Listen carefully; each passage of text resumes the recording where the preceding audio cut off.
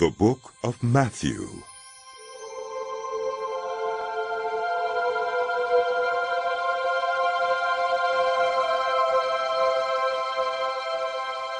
This is the genealogy of Jesus the Messiah, the son of David, the son of Abraham. Abraham was the father of Isaac, Isaac the father of Jacob, Jacob the father of Judah and his brothers, Judah the father of Perez and Zerah, whose mother was Tamar.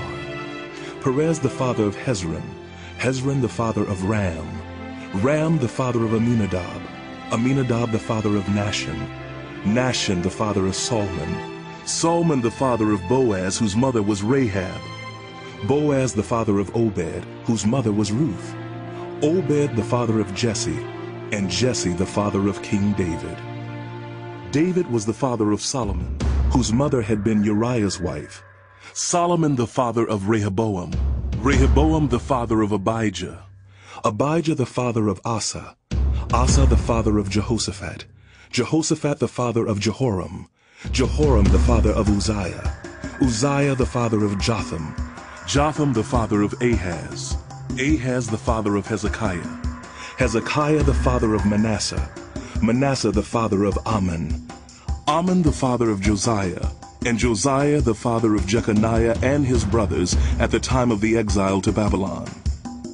After the exile to Babylon, Jeconiah was the father of Shealtiel, Shealtiel the father of Zerubbabel, Zerubbabel the father of Abiud, Abiud the father of Eliakim, Eliakim the father of Azor, Azor the father of Zadok, Zadok the father of Achim, Achim the father of Eliud, Eliud the father of Eleazar, Eleazar the father of Matthan, Matthan the father of Jacob, and Jacob the father of Joseph, the husband of Mary, and Mary was the mother of Jesus, who is called the Messiah.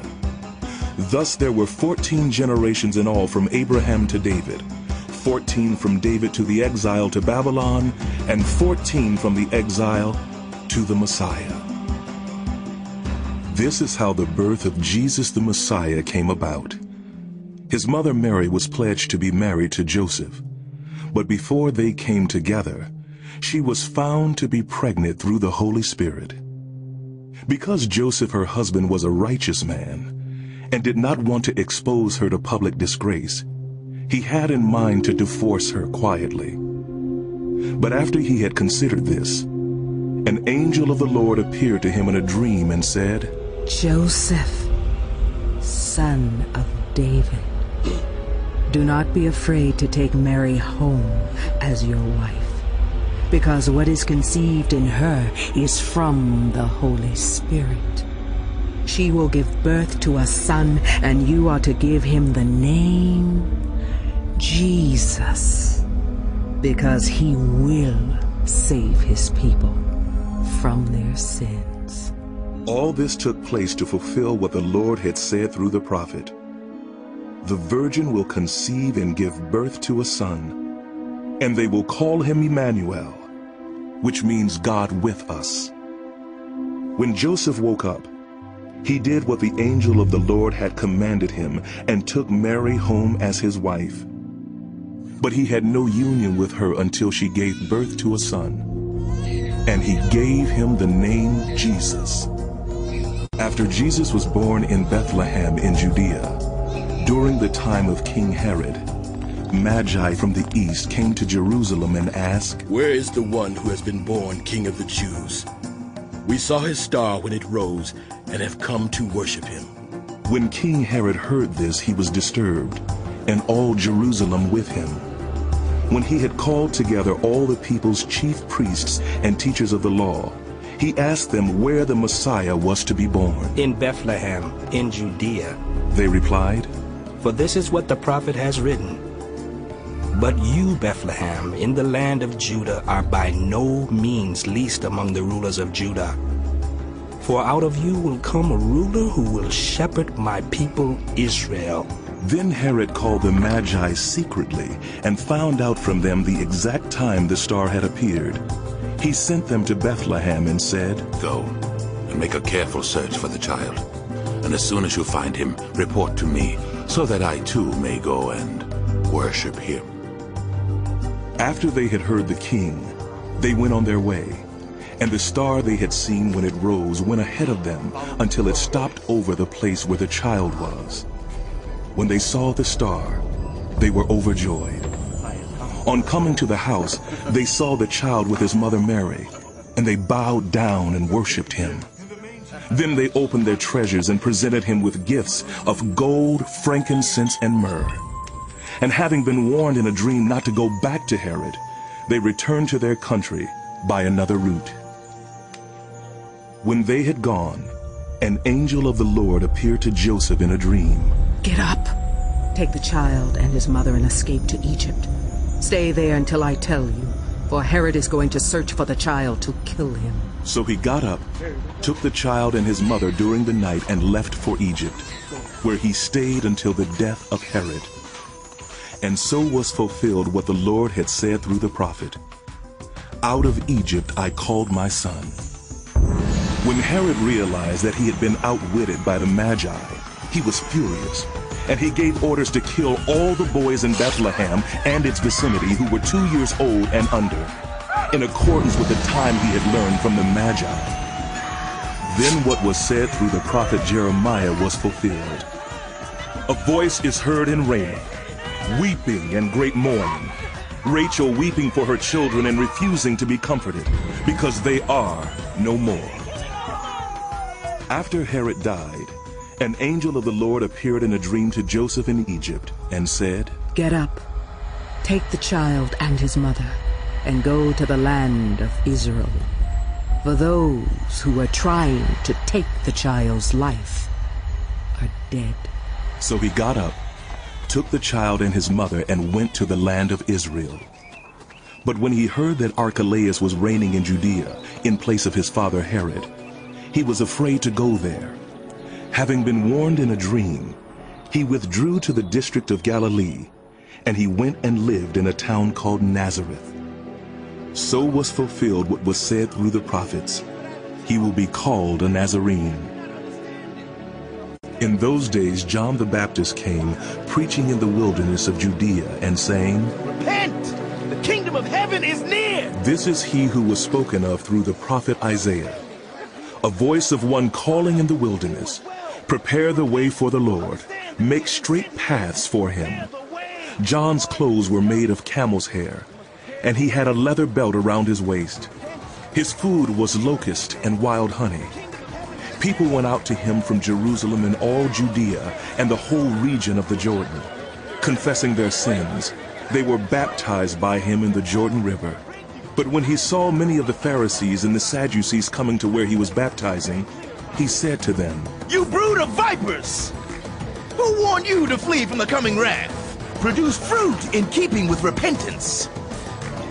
And do not think you can say to yourselves, We have Abraham as our father. I tell you that out of these stones, God can raise up children for Abraham.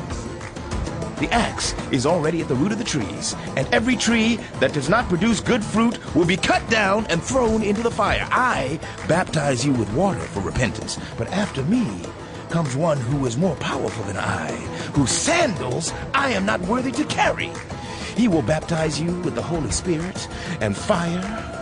His winnowing fork is in his hand, and he will clear his threshing floor, gathering his wheat into the barn and burning up the chaff with unquenchable fire. But I am not the Messiah. Let me tell you that. Let me be very clear. Then about Jesus came from Galilee to the Jordan to be baptized by John. But John tried to deter him, saying. I need to be baptized by you, and do you come to me? Jesus replied, Let it be so now. It is proper for us to do this to fulfill all righteousness. Then John consented. As soon as Jesus was baptized, he went up out of the water. At that moment heaven was opened, and he saw the Spirit of God descending like a dove and alighting on him. And a voice from heaven said, This is my son, whom I love. With him I am well pleased. Then Jesus was led by the Spirit into the wilderness to be tempted by the devil. After fasting forty days and forty nights, he was hungry. The tempter came to him and said, If you are the Son of God, tell these stones to become bread. Jesus answered, It is written, People do not live on bread alone, but on every word that comes from the mouth of God. Then the devil took him to the holy city and had him stand on the highest point of the temple. If you are the Son of God, throw yourself down. For it is written, He will command His angels concerning you, and they will lift you up in their hands so that you will not strike your foot against a stone. Jesus answered him, It is also written, Do not put the Lord your God to the test. Again, the devil took him to a very high mountain and showed him all the kingdoms of the world and their splendor. All this I will give you if you will bow down and worship me. Away from me, Satan! For it is written, Worship the Lord your God and serve him only. Then the devil left him, and angels came and attended him. When Jesus heard that John had been put in prison, he withdrew to Galilee. Leaving Nazareth, he went and lived in Capernaum, which was by the lake in the area of Zebulun and Naphtali, to fulfill what was said through the prophet Isaiah. Land of Zebulun and land of Naphtali, the way of the sea, beyond the Jordan, Galilee of the Gentiles. The people living in darkness have seen a great light. On those living in the land of the shadow of death, a light has dawned. From that time on, Jesus began to preach. Repent, for the kingdom of heaven has come near. As Jesus was walking beside the Sea of Galilee, he saw two brothers, Simon, called Peter, and his brother Andrew. They were casting a net into the lake, for they were fishermen. Come, Who is that? follow me, and I will send you out to fish for people. At once they left their nets and followed him. Going on from there, he saw two other brothers, James son of Zebedee and his brother John. They were in a boat with their father Zebedee, preparing their nets. Jesus called them, and immediately they left the boat and their father and followed him. Jesus went throughout Galilee, teaching in their synagogues, proclaiming the good news of the kingdom, and healing every disease and sickness among the people. News about him spread all over Syria, and people brought to him all who were ill with various diseases, those suffering severe pain, the demon-possessed, those having seizures, and the paralyzed, and he healed them. Large crowds from Galilee, the Decapolis, Jerusalem, Judea, and the region across the Jordan followed him. Now when Jesus saw the crowds, he went up on a mountainside and sat down. His disciples came to him, and he began to teach them. He said, Blessed are the poor in spirit, for theirs is the kingdom of heaven. Blessed are those who mourn, for they will be comforted. Blessed are the meek, for they will inherit the earth. Blessed are those who hunger and thirst for righteousness, for they will be filled. Yes, yes. Blessed are the merciful, for they will be shown mercy. Blessed are the pure in heart, for they will see God. Blessed are the peacemakers, for they will be called children of God. Blessed are those who are persecuted because of righteousness, for theirs is the kingdom of heaven. Blessed are you when people insult you, persecute you, and falsely say all kinds of evil against you because of me. Rejoice and be glad, because great is your reward in heaven. Yes, Rabbi. For in the same way they persecuted the prophets who were before you. You are the salt of the earth. But if the salt loses its saltiness, how can it be made salty again? It is no longer good for anything, except to be thrown out and trampled underfoot. You are the light of the world. A city on a hill cannot be hidden. Neither do people light a lamp and put it under a bowl. Instead, they put it on its stand, and it gives light to everyone in the house. In the same way, let your light shine before others, that they may see your good deeds and glorify your Father in heaven. Teaching, Master. Do not think that I have come to abolish the law or the prophets. I have not come to abolish them, but to fulfill them. Truly, I tell you, Until heaven and earth disappear, not the smallest letter, not the least stroke of a pen will by any means disappear from the law, until everything is accomplished. Anyone who sets aside one of the least of these commands and teaches others accordingly will be called least in the kingdom of heaven. But whoever practices and teaches these commands will be called great in the kingdom of heaven. For I tell you that unless your righteousness surpasses that of the Pharisees and the teachers of the law, you will certainly not enter the kingdom of heaven. I want to hear more. You have heard that it was said to the people long ago, You shall not murder, and anyone who murders will be subject to judgment. But I tell you that anyone who is angry with a brother or sister will be subject to judgment. Again, anyone who says to a brother or sister, Raca, is answerable to the Sanhedrin, and anyone who says, you fool, will be in danger of the fire of hell. Therefore, if you are offering your gift at the altar, and there remember that your brother or sister has something against you, leave your gift there in front of the altar. First, go and be reconciled to that person. Then come and offer your gift. Settle matters quickly with your adversary who is taking you to court. Do it while you are still together on the way, or your adversary may hand you over to the judge, and the judge may hand you over to the officer, and you may be thrown into prison. Truly, I tell you, you will not get out until you have paid the last penny. You have heard that it was said, You shall not commit adultery. But I tell you, that anyone who looks at a woman lustfully has already committed adultery with her in his heart. Thank you, Jesus. If your right eye causes you to stumble, gouge it out and throw it away. It is better for you to lose one part of your body than for your whole body to be thrown into hell. And if your right hand causes you to stumble, cut it off and throw it away. It is better for you to lose one part of your body than for your whole body to go into hell. It has been said, Anyone who divorces his wife must give her a certificate of divorce. But I tell you that anyone who divorces his wife except for sexual immorality causes her to become an adulteress, and anyone who marries the divorced woman commits adultery. Again, you have heard that it was said to the people long ago, Do not break your oath, but fulfill to the Lord the vows you have made. But I tell you, do not swear an oath at all either by heaven, for it is God's throne, or by the earth, for it is his footstool, or by Jerusalem, for it is the city of the great king. And do not swear by your head, for you cannot make even one hair white or black. All you need to say is simply yes or no. Anything beyond this comes from the evil one.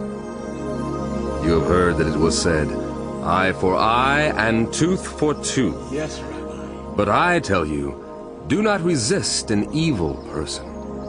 If anyone slaps you on the right cheek, turn to them the other cheek also. And if anyone wants to sue you and take your shirt, hand over your coat as well. If anyone forces you to go one mile, go with them two miles. Give to the one who asks you, and do not turn away from the one who wants to borrow from you. You have heard that it was said, Love your neighbor and hate your enemy. But I tell you, love your enemies and pray for those who persecute you, that you may be children of your Father in heaven. He causes his sun to rise on the evil and the good, and sends rain on the righteous and the unrighteous.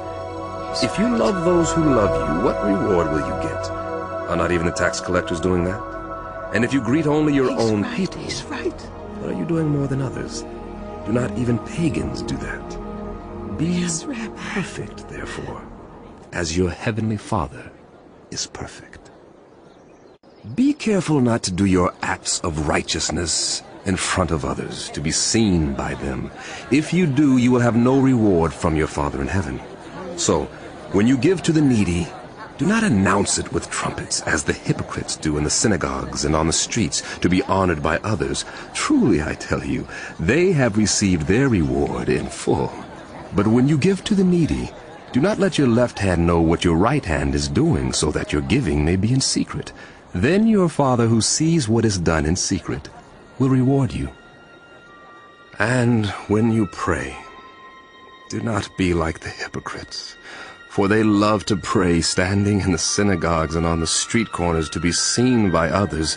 Truly, I tell you, they have received their reward in full. But when you pray, go into your room, close the door, and pray to your Father who is unseen. Then your Father who sees what is done in secret will reward you. And when you pray, do not keep on babbling like pagans, for they think they will be heard because of their many words. Do not be like them, for your Father knows what you need before you ask Him. This, then, is how you should pray. Our Father in heaven, hallowed be your name. Your kingdom come. Your will be done on earth as it is in heaven. Give us today our daily bread. And forgive us our debts, as we also have forgiven our debtors. And lead us not into temptation, but deliver us from the evil one. For if you forgive others when they sin against you, your heavenly Father will also forgive you. But if you do not forgive others their sins, your Father will not forgive your sins. When you fast, do not look somber as the hypocrites do, for they disfigure their faces to show others they are fasting. Truly, I tell you, they have received their reward in full. But when you fast, put oil on your head and wash your face, so that it will not be obvious to others that you are fasting, but only to your Father who is unseen, and your Father who sees what is done in secret will reward you. Do not store up for yourselves treasures on earth where moth and rust destroy, and where thieves break in and steal. But store up for yourselves treasures in heaven, where moth and rust do not destroy, and where thieves do not break in and steal. For where your treasure is, there your heart will be also. The eye is the lamp of the body. If your eyes are healthy, your whole body will be full of light. But if your eyes are unhealthy, your whole body will be full of darkness. If then the light within you is darkness, how great is that darkness? No one can serve two masters. Either you will hate the one and love the other, or you will be devoted to the one and despise the other. You cannot serve both God and money. We honor you. Therefore I tell you, do not worry about your life, what you will eat or drink, or about your body, what you will wear. Is not life more important than food, and the body more important than clothes? Look at the birds of the air. They do not sow or reap or store away in barns, and yet your heavenly Father feeds them. Are you not much more valuable than they? Can any one of you, by worrying, add a single hour to your life? Lord. And why do you worry about clothes? See how the flowers of the field grow. They do not labor or spin, yet I tell you that not even Solomon in all his splendor was dressed like one of these.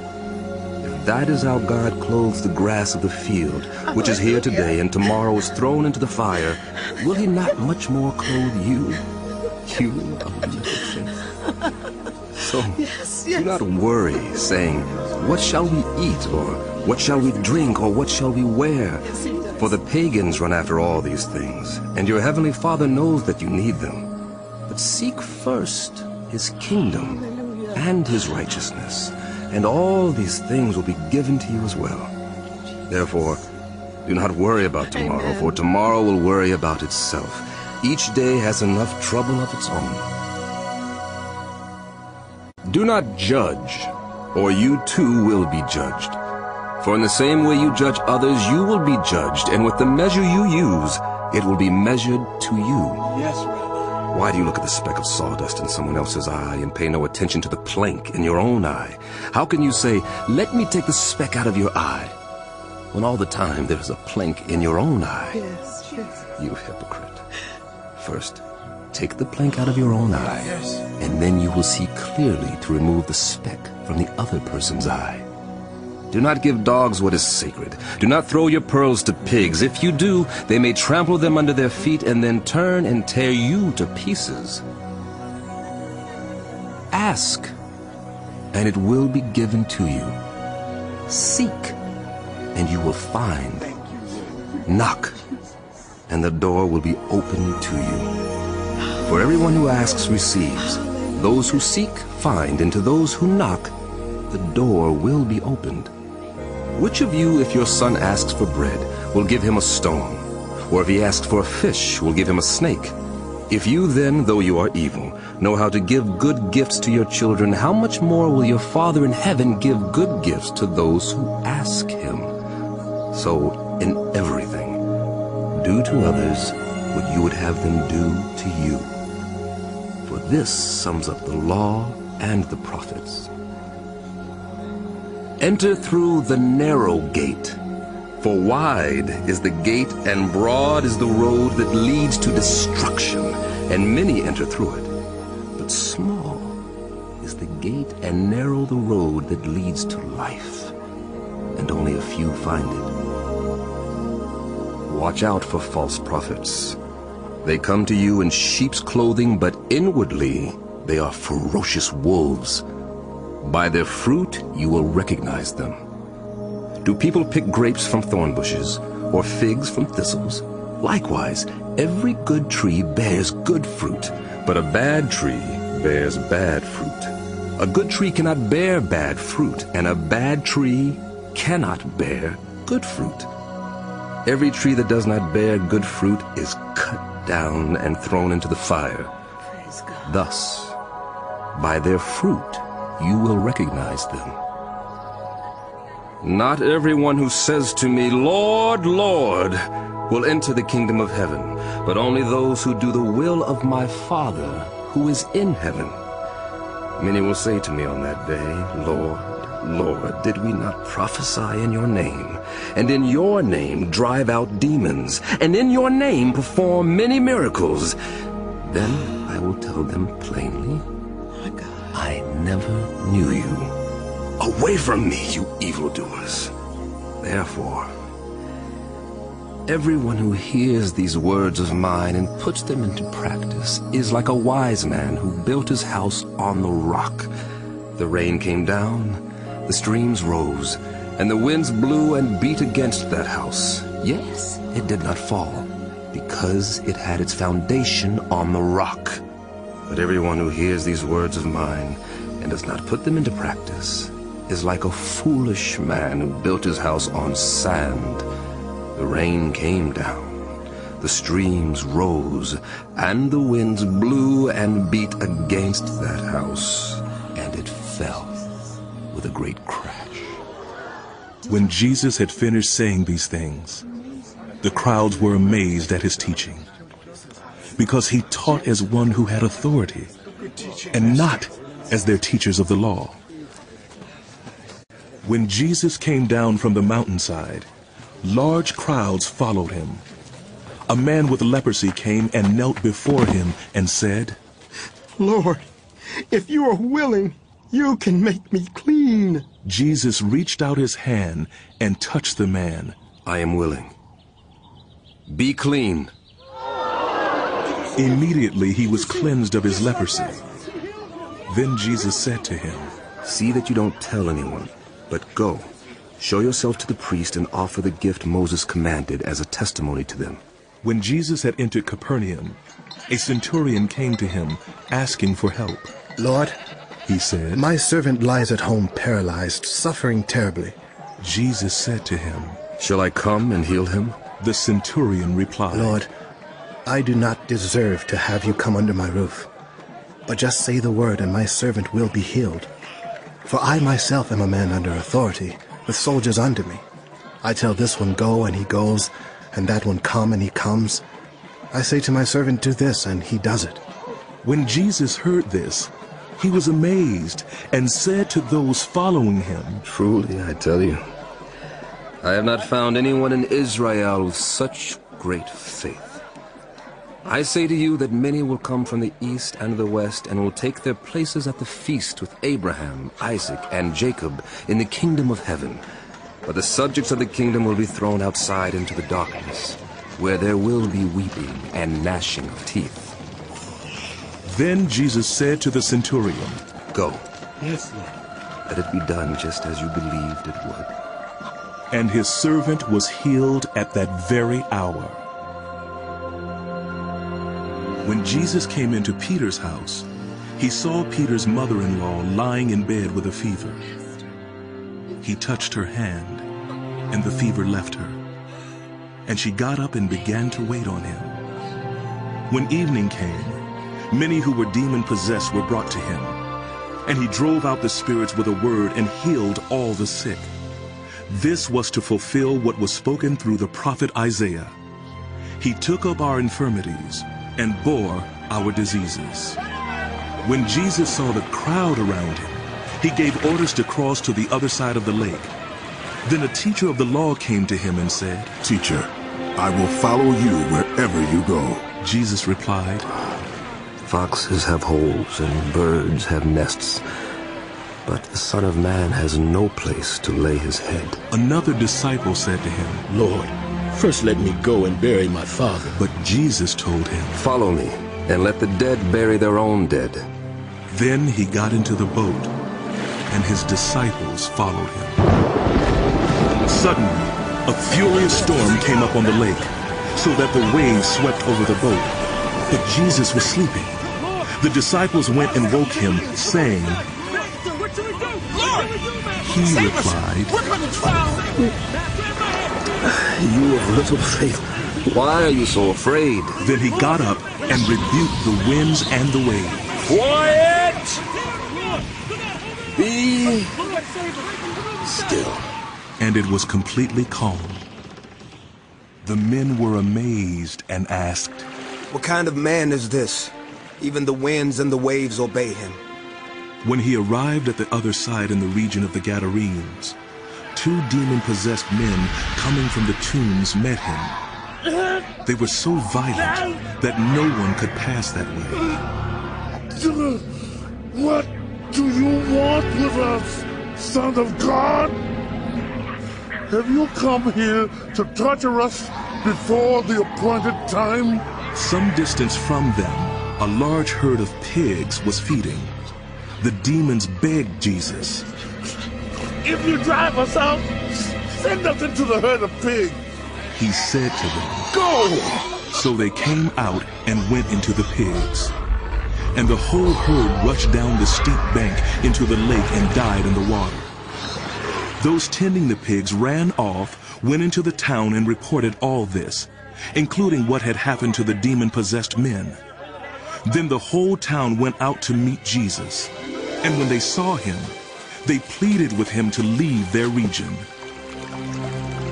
Jesus stepped into a boat, crossed over, and came to his own town. Some men brought to him a paralyzed man lying on a mat. When Jesus saw their faith, he said to the man, Take heart, son. Your sins are forgiven. Yes, Master. At this, some of the teachers of the law said to themselves, This fellow is blaspheming. Knowing their thoughts, Jesus said, Why do you entertain evil thoughts in your hearts? Which is easier, to say, Your sins are forgiven, or to say, Get up and walk? But I want you to know that the Son of Man has authority on earth to forgive sins. So he said to the paralyzed man, Get up, Yes, Master. take your mat, and go home. Then the man got up and went home. When the crowd saw this, they were filled with awe, and they praised God who had given such authority to human beings. As Jesus went on from there, he saw a man named Matthew sitting at the tax collector's booth. Follow me, he told him.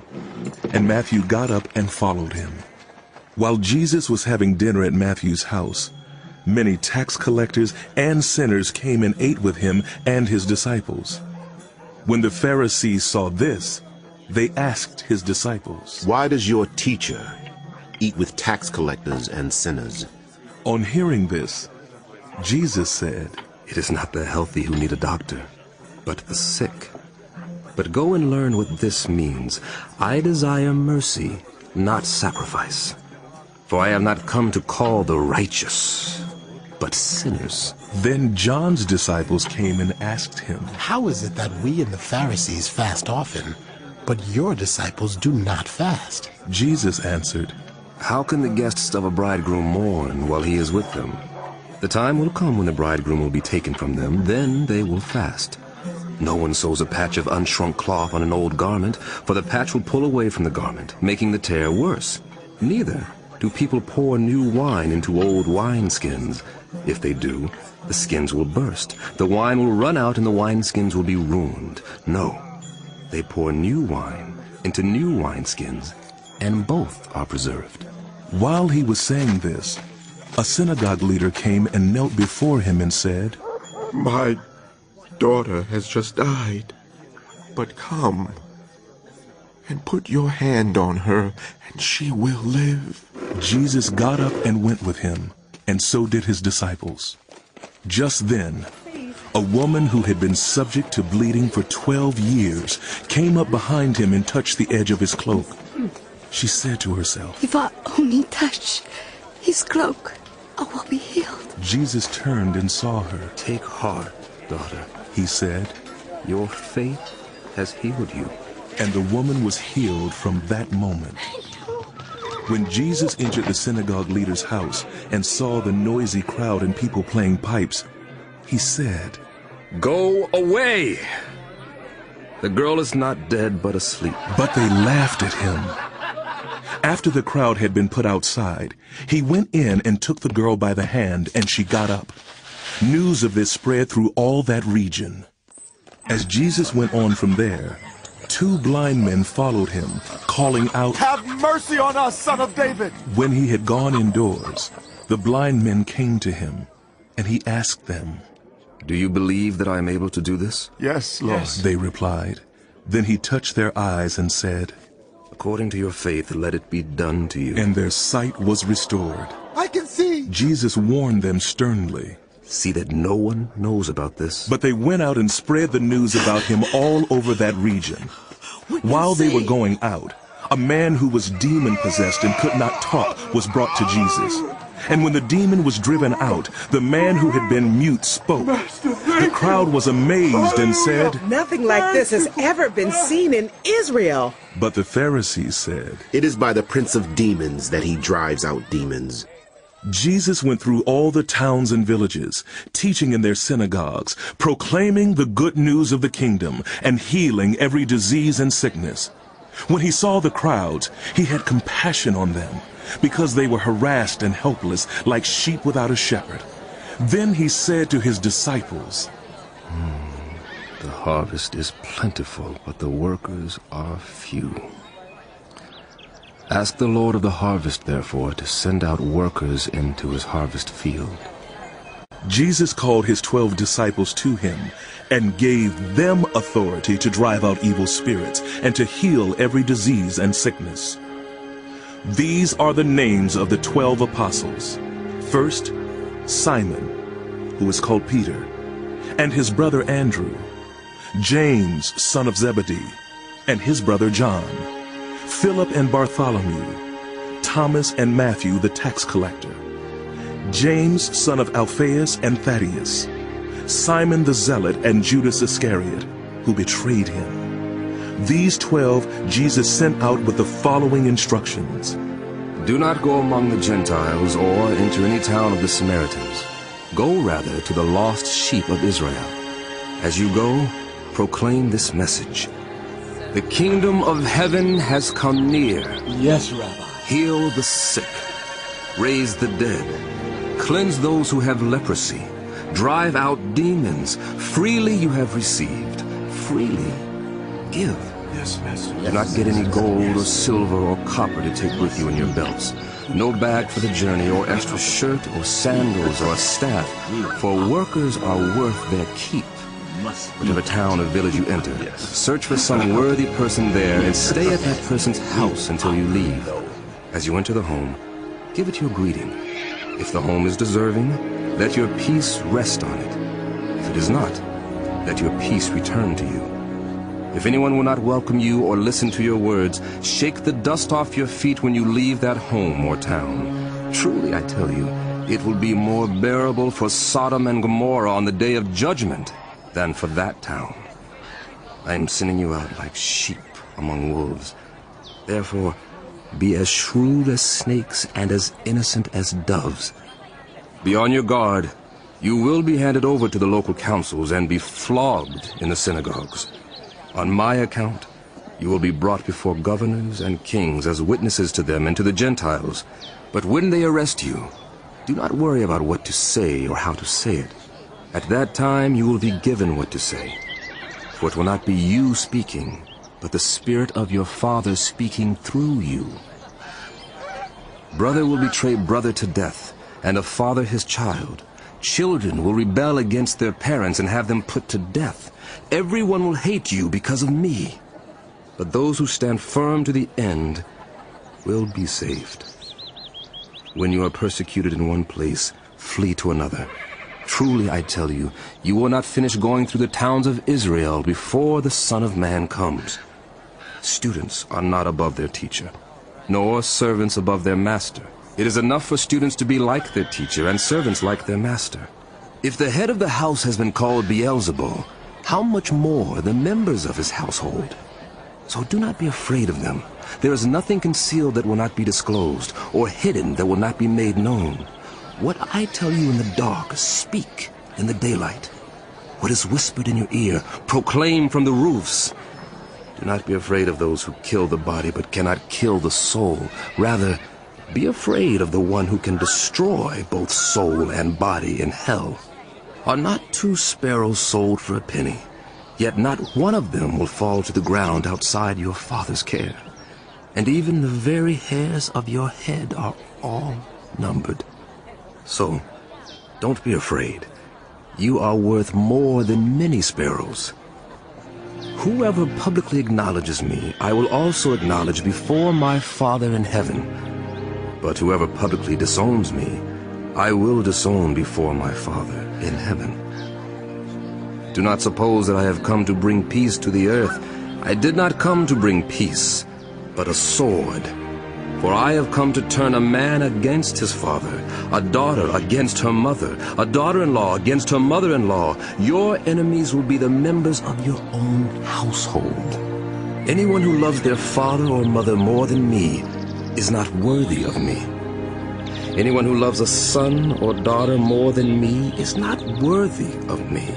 Whoever does not take up their cross and follow me is not worthy of me. Whoever finds their life will lose it, and whoever loses their life for my sake will find it. Anyone who welcomes you welcomes me, and anyone who welcomes me welcomes the one who sent me. Whoever welcomes someone known to be a prophet will receive a prophet's reward, and whoever welcomes someone known to be righteous will receive a righteous person's reward. If anyone gives even a cup of cold water to one of these little ones who is known to be my disciple, truly I tell you, that person will certainly be rewarded. After Jesus had finished instructing his twelve disciples, he went on from there to teach and preach in the towns of Galilee. When John heard in prison what the Messiah was doing, he sent his disciples to ask him, Are you the one who was to come, or should we expect someone else? Jesus replied, Go back and report to John what you hear and see.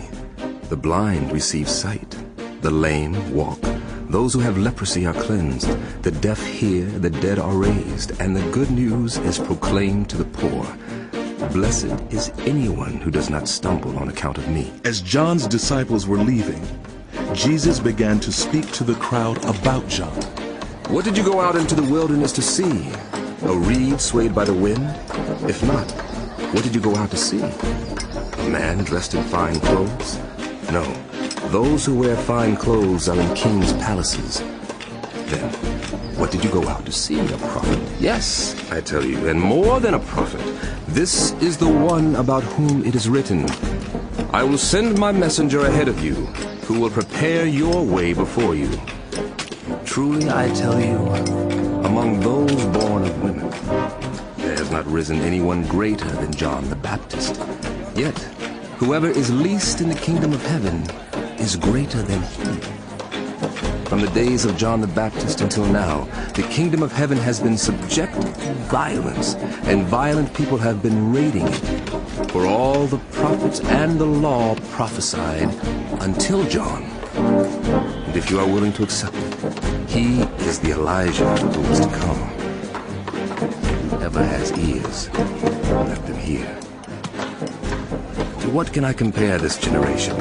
They are like children sitting in the marketplaces and calling out to others, We played the pipe for you, and you did not dance. We sang a dirge, and you did not mourn. For John came neither eating nor drinking, and they say, He has a demon. The Son of Man came eating and drinking, and they say, Here is a glutton and a drunkard, a friend of tax collectors and sinners. But wisdom is proved right by her actions. Then Jesus began to denounce the towns in which most of his miracles had been performed, because they did not repent. Woe to you, Chorazin! Woe to you, Bethsaida! If the miracles that were performed in you had been performed in Tyre and Sidon, they would have repented long ago in sackcloth and ashes. But I tell you, it will be more bearable for Tyre and Sidon on the day of judgment than for you. And you, Capernaum, Will you be lifted up to the skies? No. You will go down to the depths. If the miracles that were performed in you had been performed in Sodom, it would have remained to this day. But I tell you that it will be more bearable for Sodom on the day of judgment than for you. I praise you, Father, Lord of heaven and earth, because you have hidden these things from the wise and learned and revealed them to the little children. Yes, Father, for this was your good pleasure. All things have been committed to me by my Father. No one knows the Son except the Father, and no one knows the Father except the Son, and those to whom the Son chooses to reveal him. Come to me, all you who are weary and burdened, and I will give you rest. Take my yoke upon you and learn from me, for I am gentle and humble in heart, and you will find rest for your souls. For my yoke is easy, and my burden is light. At that time, Jesus went through the grain fields on the Sabbath. His disciples were hungry and began to pick some heads of grain and eat them. When the Pharisees saw this, they said to him, Look, your disciples are doing what is unlawful on the Sabbath. He answered, Haven't you read what David did when he and his companions were hungry? He entered the house of God, and he and his companions ate the consecrated bread, which was not lawful for them to do, but only for the priests.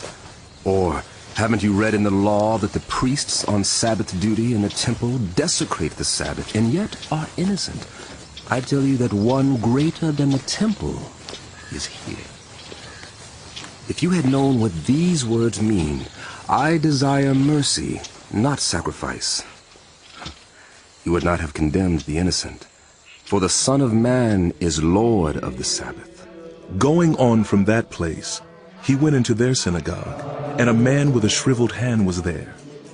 Looking for a reason to accuse Jesus, they asked him, Is it lawful to heal on the Sabbath? He said to them, If any of you has a sheep, and it falls into a pit on the Sabbath, will you not take hold of it and lift it out? How much more valuable is a human being than a sheep? Therefore it is lawful to do good on the Sabbath. Then he said to the man, Stretch out your hand. So he stretched it out, and it was completely restored, Master! just as sound as the other. Thank you, Jesus. But the Pharisees went out and plotted how they might kill Jesus. Aware of this, Jesus withdrew from that place. A large crowd followed him, and he healed all who were ill.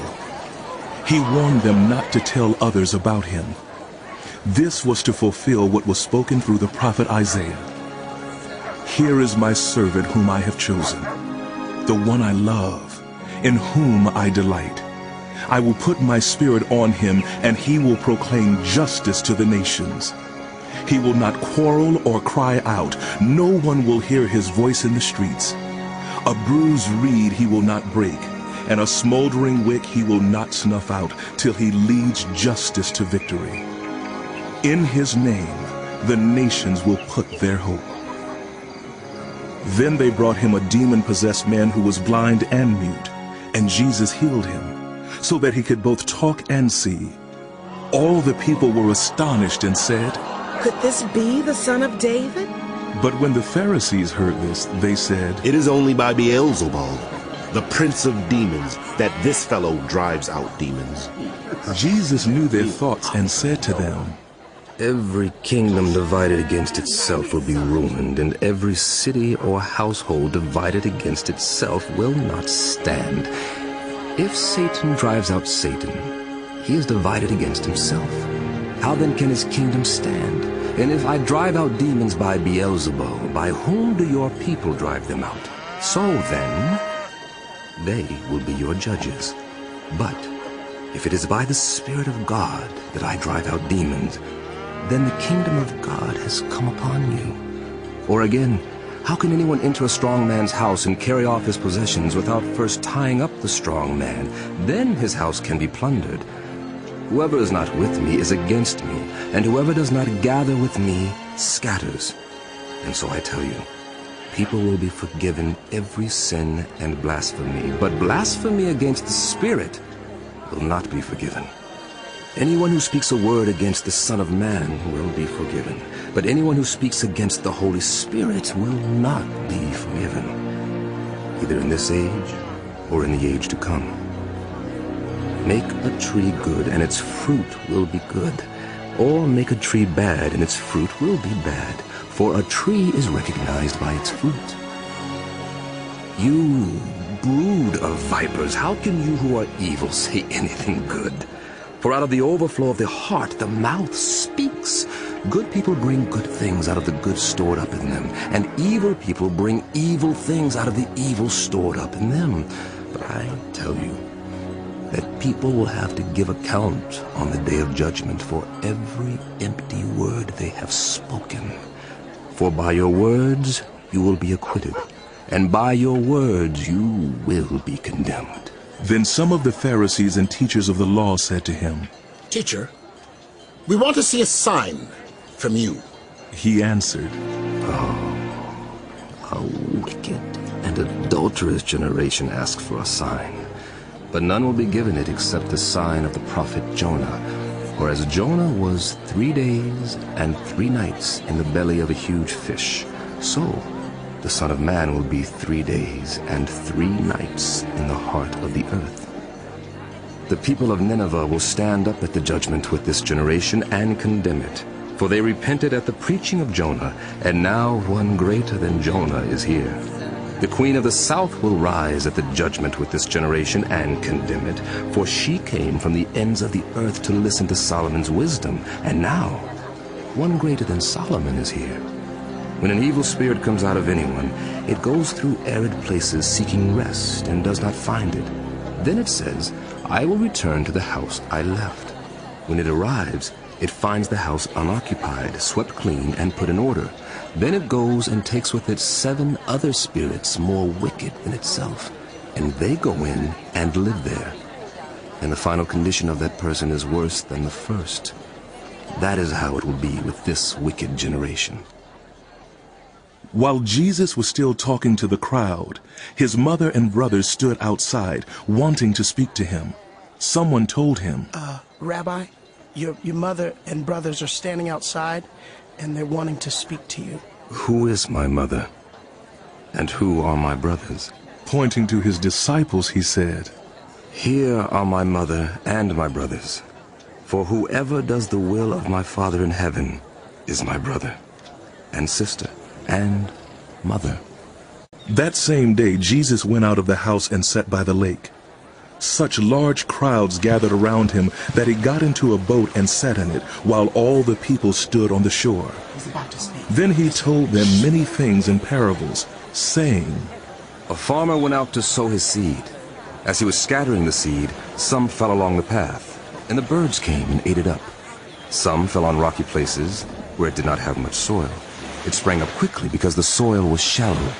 But when the sun came up, the plants were scorched, and they withered because they had no root. Other seed fell among thorns, which grew up and choked the plants. Still, other seed fell on good soil, where it produced a crop, a hundred, sixty, or thirty times what was sown. Whoever has ears, let them hear. The disciples came to him and asked, Why do you speak to the people in parables? He replied, Ah, the knowledge of the secrets of the kingdom of heaven has been given to you, but not to them. Those who have will be given more, and they will have an abundance. As for those who do not have, even what they have will be taken from them. This is why I speak to them in parables.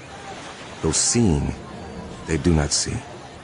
Though hearing, they do not hear or understand. In them is fulfilled the prophecy of Isaiah.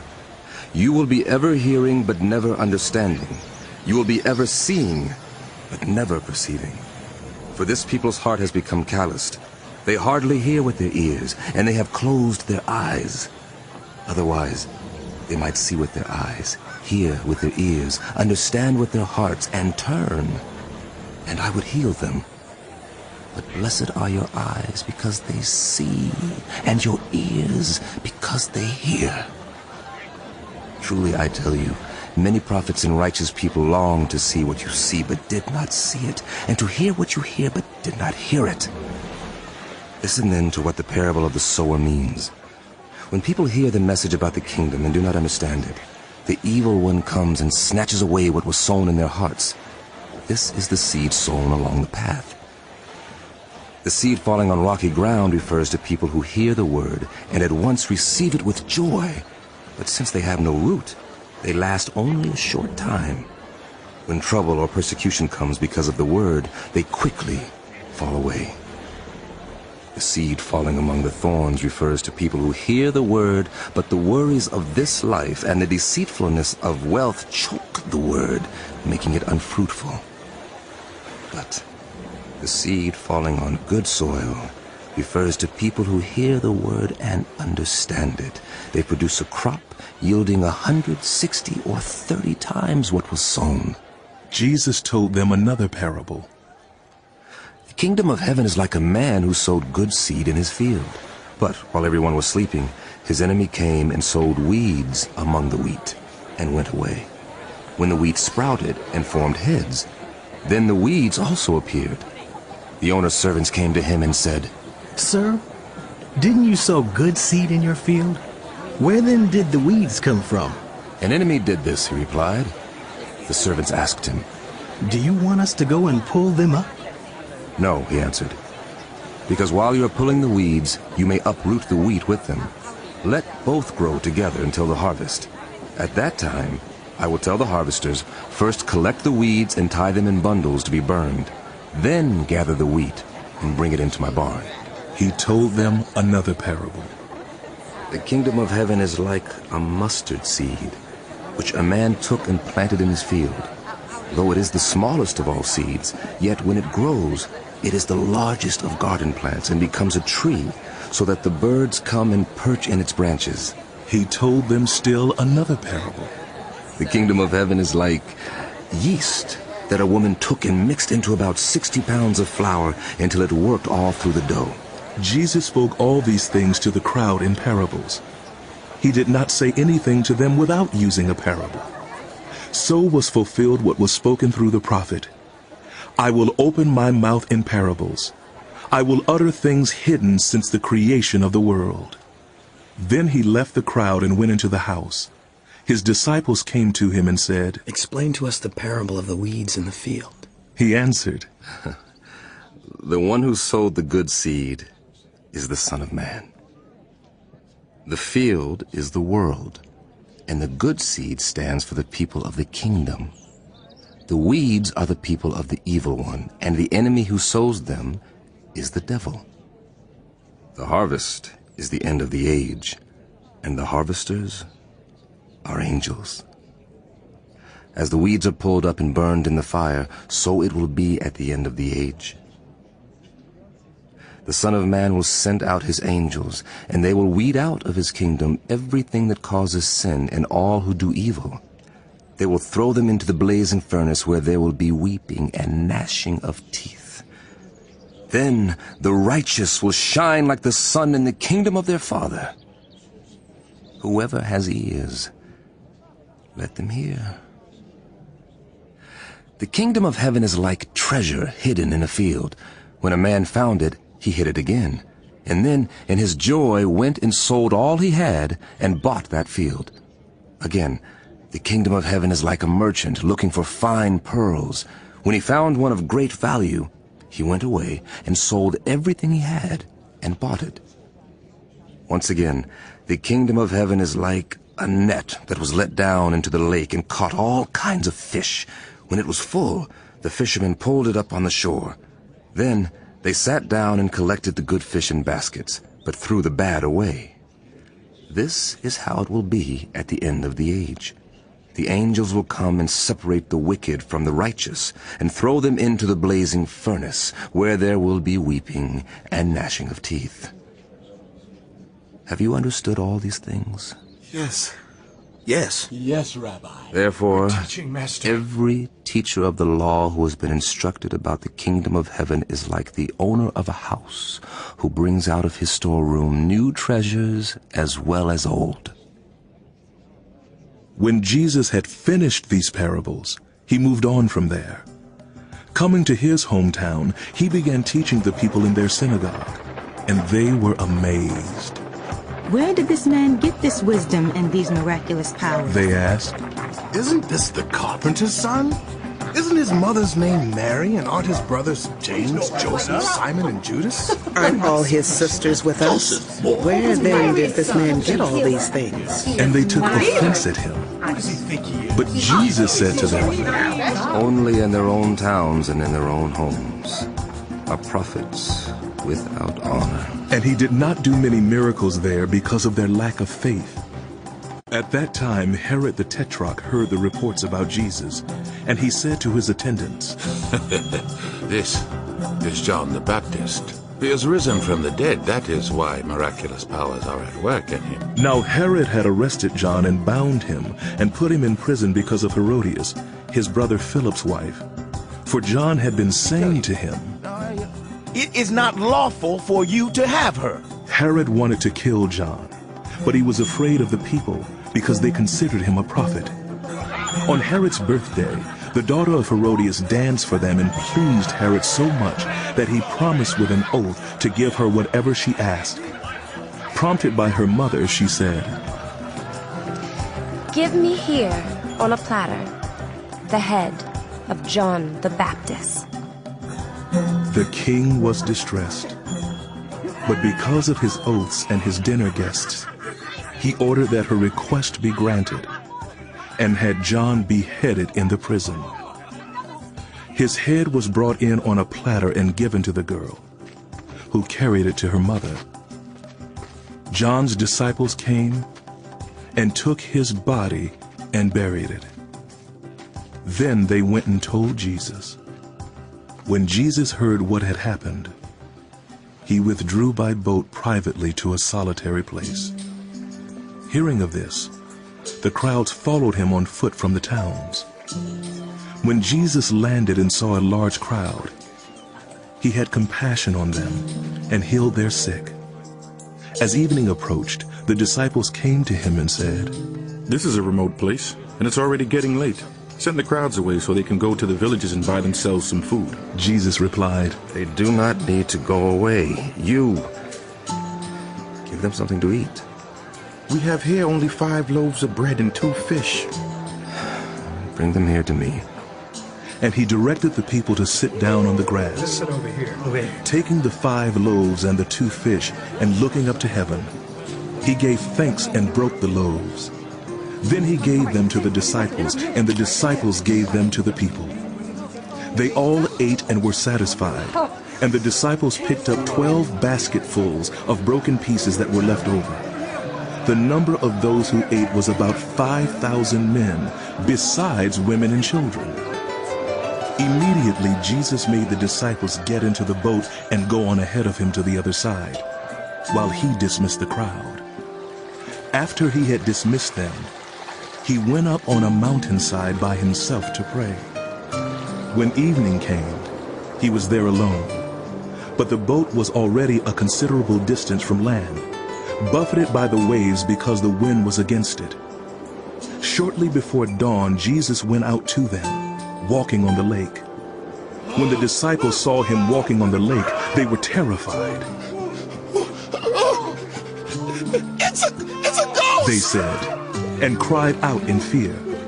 But Jesus immediately said to them, Take courage! It is I! Don't be afraid. Lord, if it's you, Peter replied, tell me to come to you on the water. Come.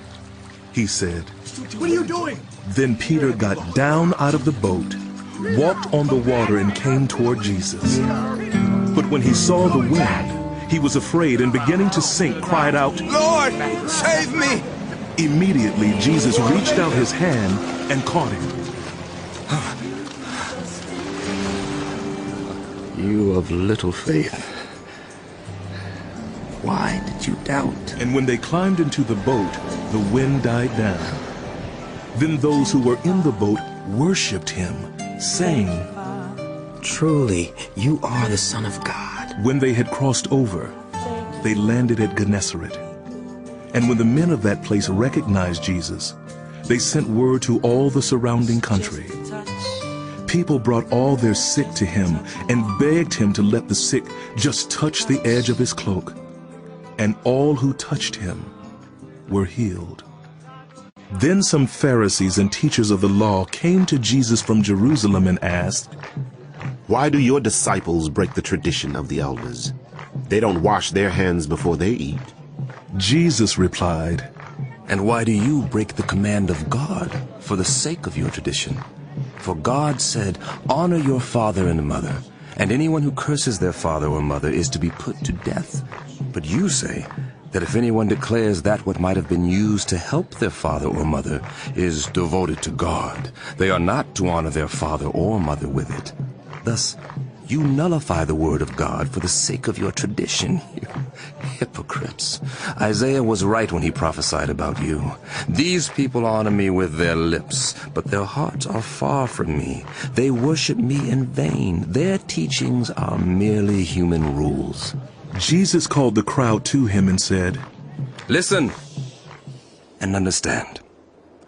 What goes into your mouth does not defile you, but what comes out of your mouth, that is what defiles you. Then the disciples came to him and asked, Do you know that the Pharisees were offended when they heard this? He replied, Every plant that my heavenly Father has not planted will be pulled up by the roots. Leave them. They are blind guides. If the blind lead the blind, both will fall into a pit. Peter said, Explain the parable to us. Are you still so dull? Don't you see that whatever enters the mouth goes into the stomach and then out of the body? But the things that come out of the mouth come from the heart, and these defile you. For out of the heart come evil thoughts, murder, adultery, sexual immorality, theft, false testimony, slander. These are what defile you, but eating with unwashed hands does not defile you. Leaving that place, Jesus withdrew to the region of Tyre and Sidon.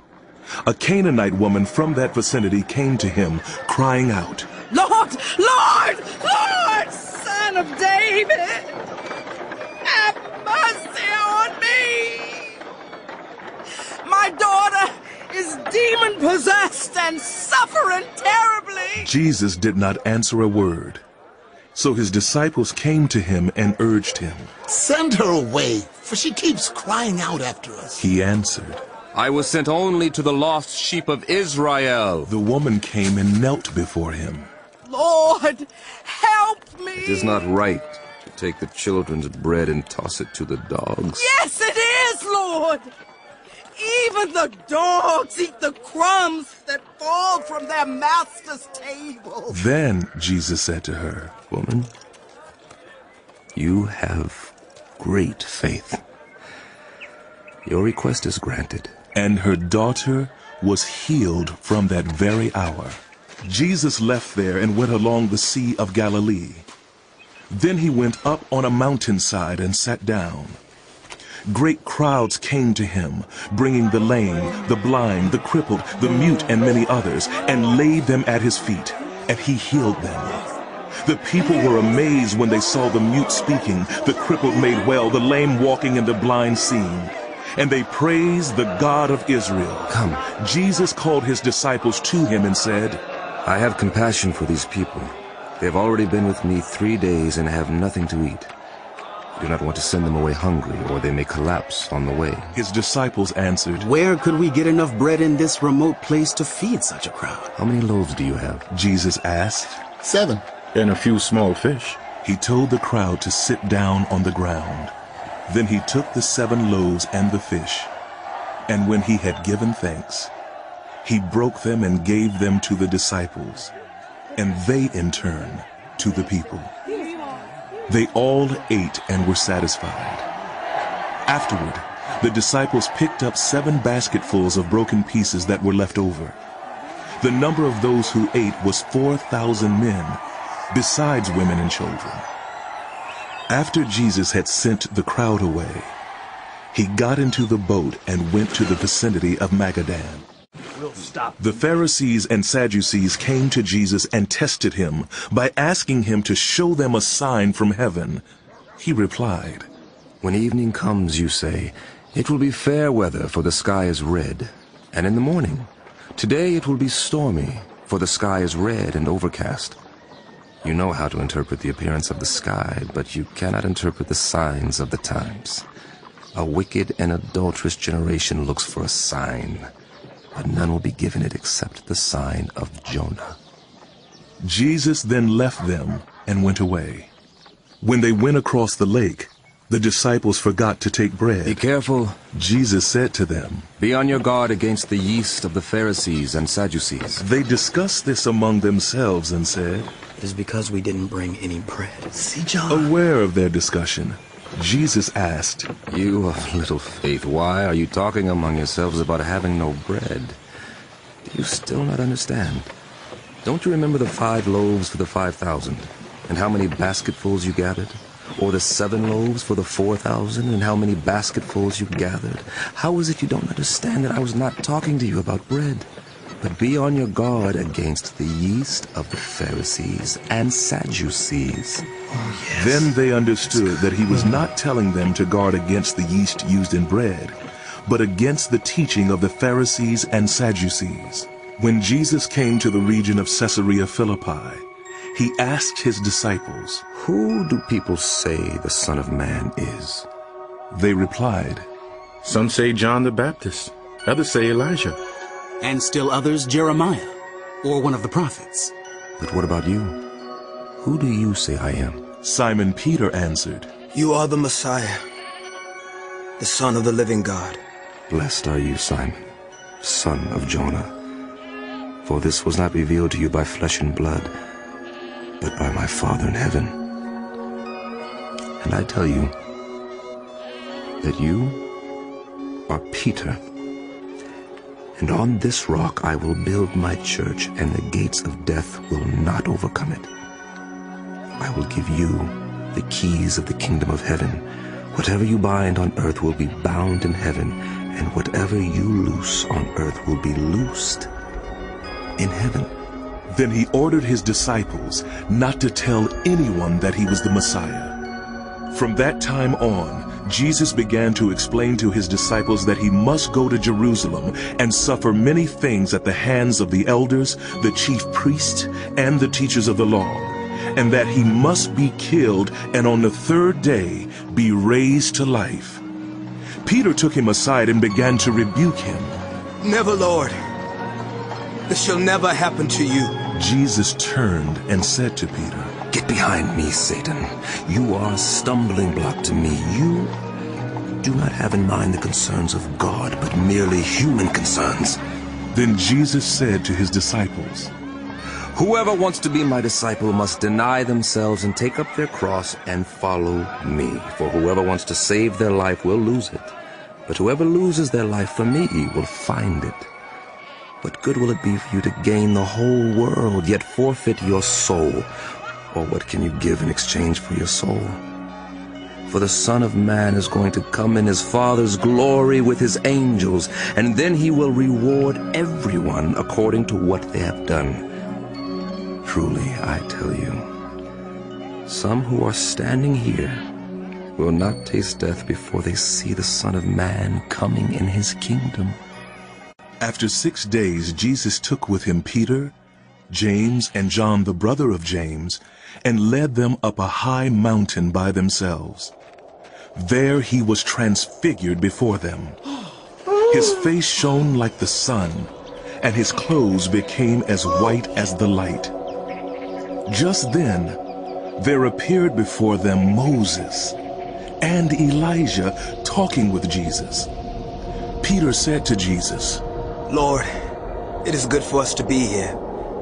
If you wish, I will put up three shelters, one for you, one for Moses, and one for Elijah. While he was still speaking, a bright cloud covered them, and a voice from the cloud said, This is my son, whom I love. With him I am well pleased. Listen to him. When the disciples heard this, they fell face down to the ground, terrified. But Jesus came and touched them. Get up, he said. Don't be afraid. When they looked up, they saw no one except Jesus. As they were coming down the mountain, Jesus instructed them, Don't tell anyone what you have seen until the Son of Man has been raised from the dead. Yes, Rabbi. The disciples asked him, Why then do the teachers of the law say that Elijah must come first? Jesus replied, To be sure, Elijah comes and will restore all things, but I tell you, Elijah has already come, and they did not recognize him, but have done to him everything they wished. In the same way, the Son of Man is going to suffer at their hands. Then the disciples understood that he was talking to them about John the Baptist. When they came to the crowd, a man approached Jesus and knelt before him. Lord, have mercy on my son, he said. He has seizures and is suffering greatly. He often falls into the fire or into the water. I brought him to your disciples, but they could not heal him. Hmm, you unbelieving and perverse generation. How long shall I stay with you? How long shall I put up with you? Bring the boy here to me. Jesus rebuked the demon, and it came out of the boy, and he was healed from that moment. Then the disciples came to Jesus in private and asked, Why couldn't we drive it out? He replied, Because you have so little faith. Truly, I tell you, if you have faith as small as a mustard seed, you can say to this mountain, Move from here to there, and it will move. Nothing will be impossible for you. When they came together in Galilee, he said to them, The Son of Man is going to be delivered over to human hands. He will be killed, and on the third day he will be raised to life. And the disciples were filled with grief. After Jesus and his disciples arrived in Capernaum, the collectors of the two drachma temple tax came to Peter and asked, Doesn't your teacher pay the temple tax? Yes, he does. He replied. When Peter came into the house, Jesus was the first to speak. What do you think, Simon? From whom do the kings of the earth collect duty and taxes? From their own children or from others? From others. Ah, then the children are exempt. But so that we may not cause offense, go to the lake and throw out your line.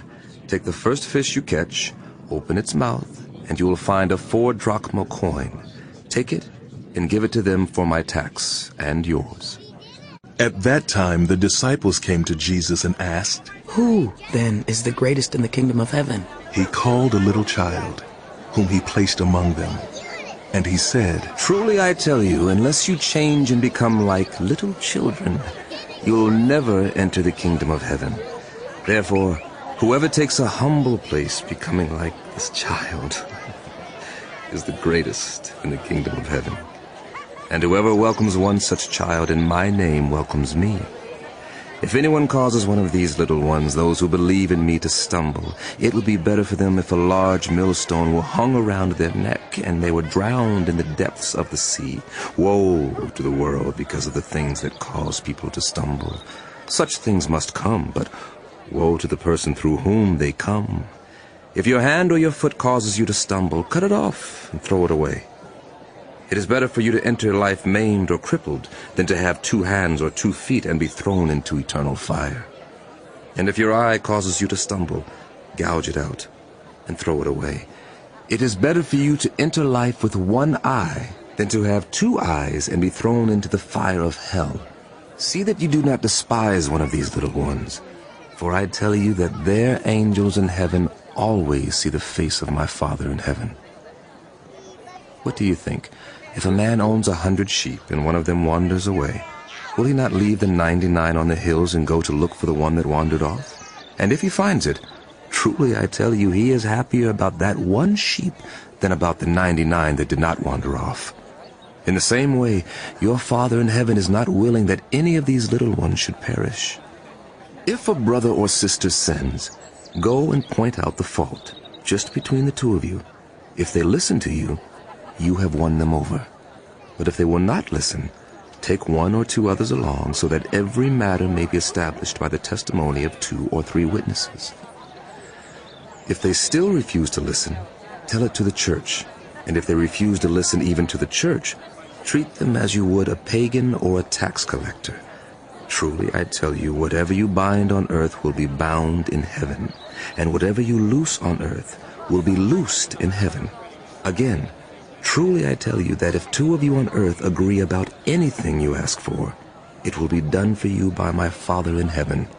For where two or three come together in my name, there am I with them.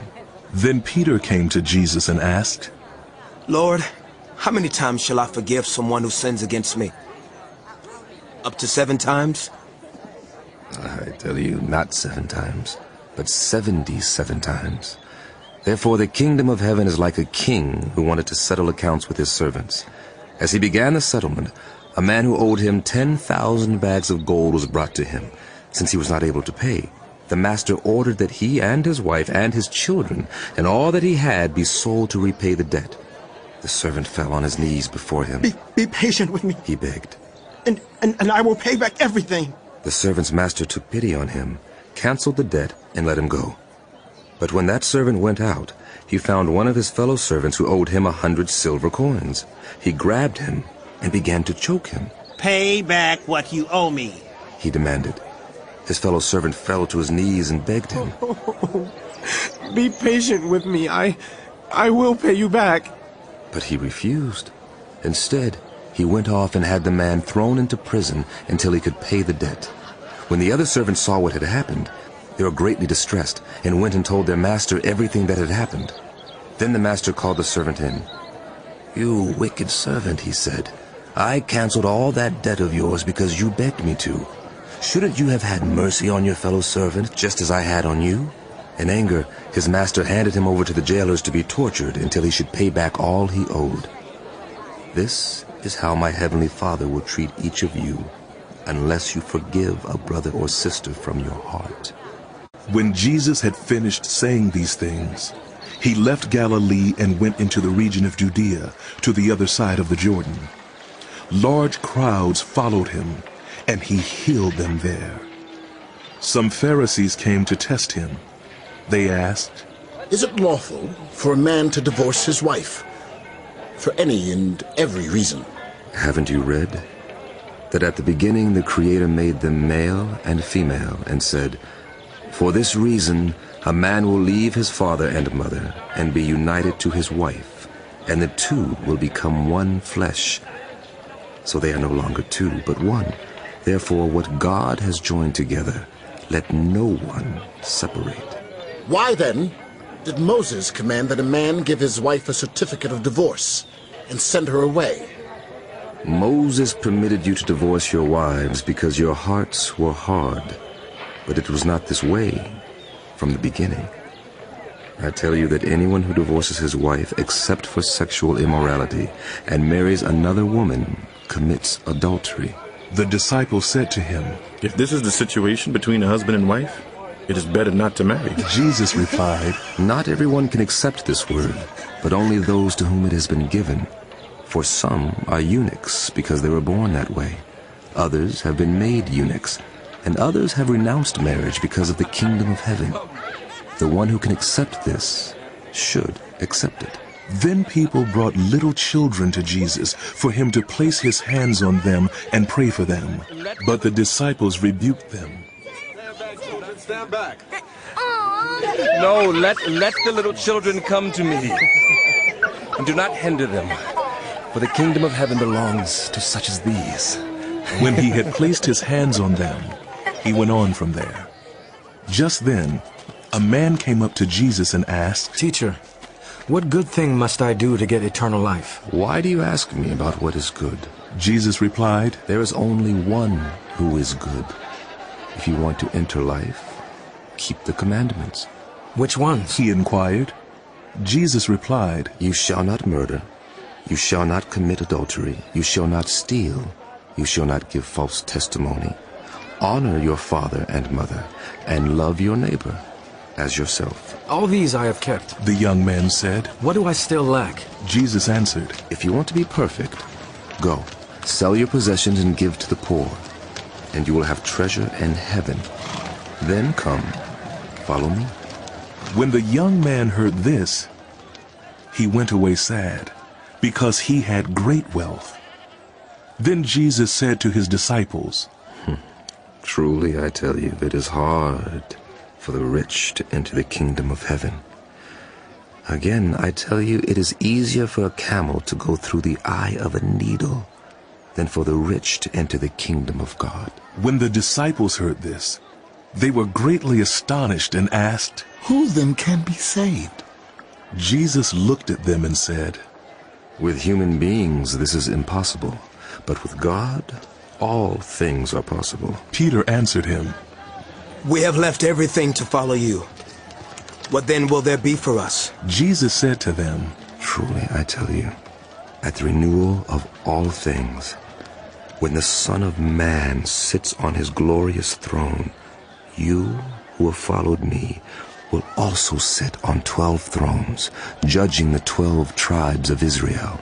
And everyone who has left houses or brothers or sisters or father or mother or wife or children or fields for my sake will receive a hundred times as much and will inherit eternal life.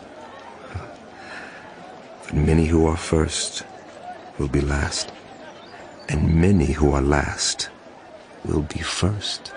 For the kingdom of heaven is like a landowner who went out early in the morning to hire workers for his vineyard. He agreed to pay them a denarius for the day and sent them into his vineyard. About nine in the morning, he went out and saw others standing in the marketplace doing nothing. He told them, You also go and work in my vineyard, and I will pay you whatever is right. So they went. He went out again about noon, and about three in the afternoon, and did the same thing. About five in the afternoon, he went out and found still others standing around. He asked them, Why have you been standing here all day long doing nothing? Because no one has hired us. He said to them, You also go and work in my vineyard. When evening came, the owner of the vineyard said to his supervisor, Call the workers and pay them their wages, beginning with the last ones hired and going on to the first. The workers who were hired about five in the afternoon came, and each received a denarius. So when those came who were hired first, they expected to receive more, but each one of them also received a denarius. When they received it, they began to grumble against the landowner. Oh, come on. These men who were hired last worked only one hour. They said, And you have made them equal to us who have borne the burden of the work in the heat of the day? But he answered one of them, Friend, I am not being unfair to you. Didn't you agree to work for a denarius? Take your pay and go. I want to give the one who was hired last the same as I gave you. Don't I have the right to do what I want with my own money? Or are you envious because I am generous? So, the last will be first, and the first will be last. Now Jesus was going up to Jerusalem. On the way, he took the twelve aside and said to them, We are going up to Jerusalem, And the Son of Man will be delivered over to the chief priests and the teachers of the law. They will condemn him to death. Leave us, Lord. And will hand him over to the Gentiles to be mocked and flogged and crucified. On the third day he will be raised to life. Then the mother of Zebedee's sons came to Jesus with her sons and kneeling down asked a favor of him. What is it you want? He asked. She said, Grant that one of these two sons of mine may sit at your right and the other at your left in your kingdom. You don't know what you're asking. Can you drink the cup I'm going to drink? We can. We can. You will indeed drink from my cup, but to sit at my right or left is not for me to grant. These places belong to those for whom they have been prepared by my Father. When the ten heard about this, they were indignant with the two brothers. Jesus called them together and said, You know that the rulers of the Gentiles lord it over them, and their high officials exercise authority over them. Not so with you. Instead, whoever wants to become great among you must be your servant, and whoever wants to be first must be your slave, just as the Son of Man did not come to be served, but to serve, and to give his life as a ransom for many. As Jesus and his disciples were leaving Jericho, a large crowd followed him. Two blind men were sitting by the roadside, and when they heard that Jesus was going by, they shouted, Lord, Son of David, have mercy on us! The crowd rebuked them and told them to be quiet, but they shouted all the louder, Lord, Son of David, have mercy on us! Jesus stopped and called them. What do you want me to do for you? Lord, we want our sight. Jesus had compassion on them and touched their eyes. Immediately they received their sight and followed him. As they approached Jerusalem and came to Bethphage on the Mount of Olives, Jesus sent two disciples, saying to them, Go to the village ahead of you, and at once you will find a donkey tied there with her colt by her. Untie them and bring them to me. If anyone says anything to you, say that the Lord needs them, and he will send them right away. This took place to fulfill what was spoken through the prophet. Say to daughter Zion, See, your king comes to you, gentle and riding on a donkey, and on a colt, the foal of a donkey. The disciples went and did as Jesus had instructed them. They brought the donkey and the colt and placed their cloaks on them for Jesus to sit on. A very large crowd spread their cloaks on the road, while others cut branches from the trees and spread them on the road. The crowds that went ahead of him and those that followed shouted, Hosanna to the Son of David!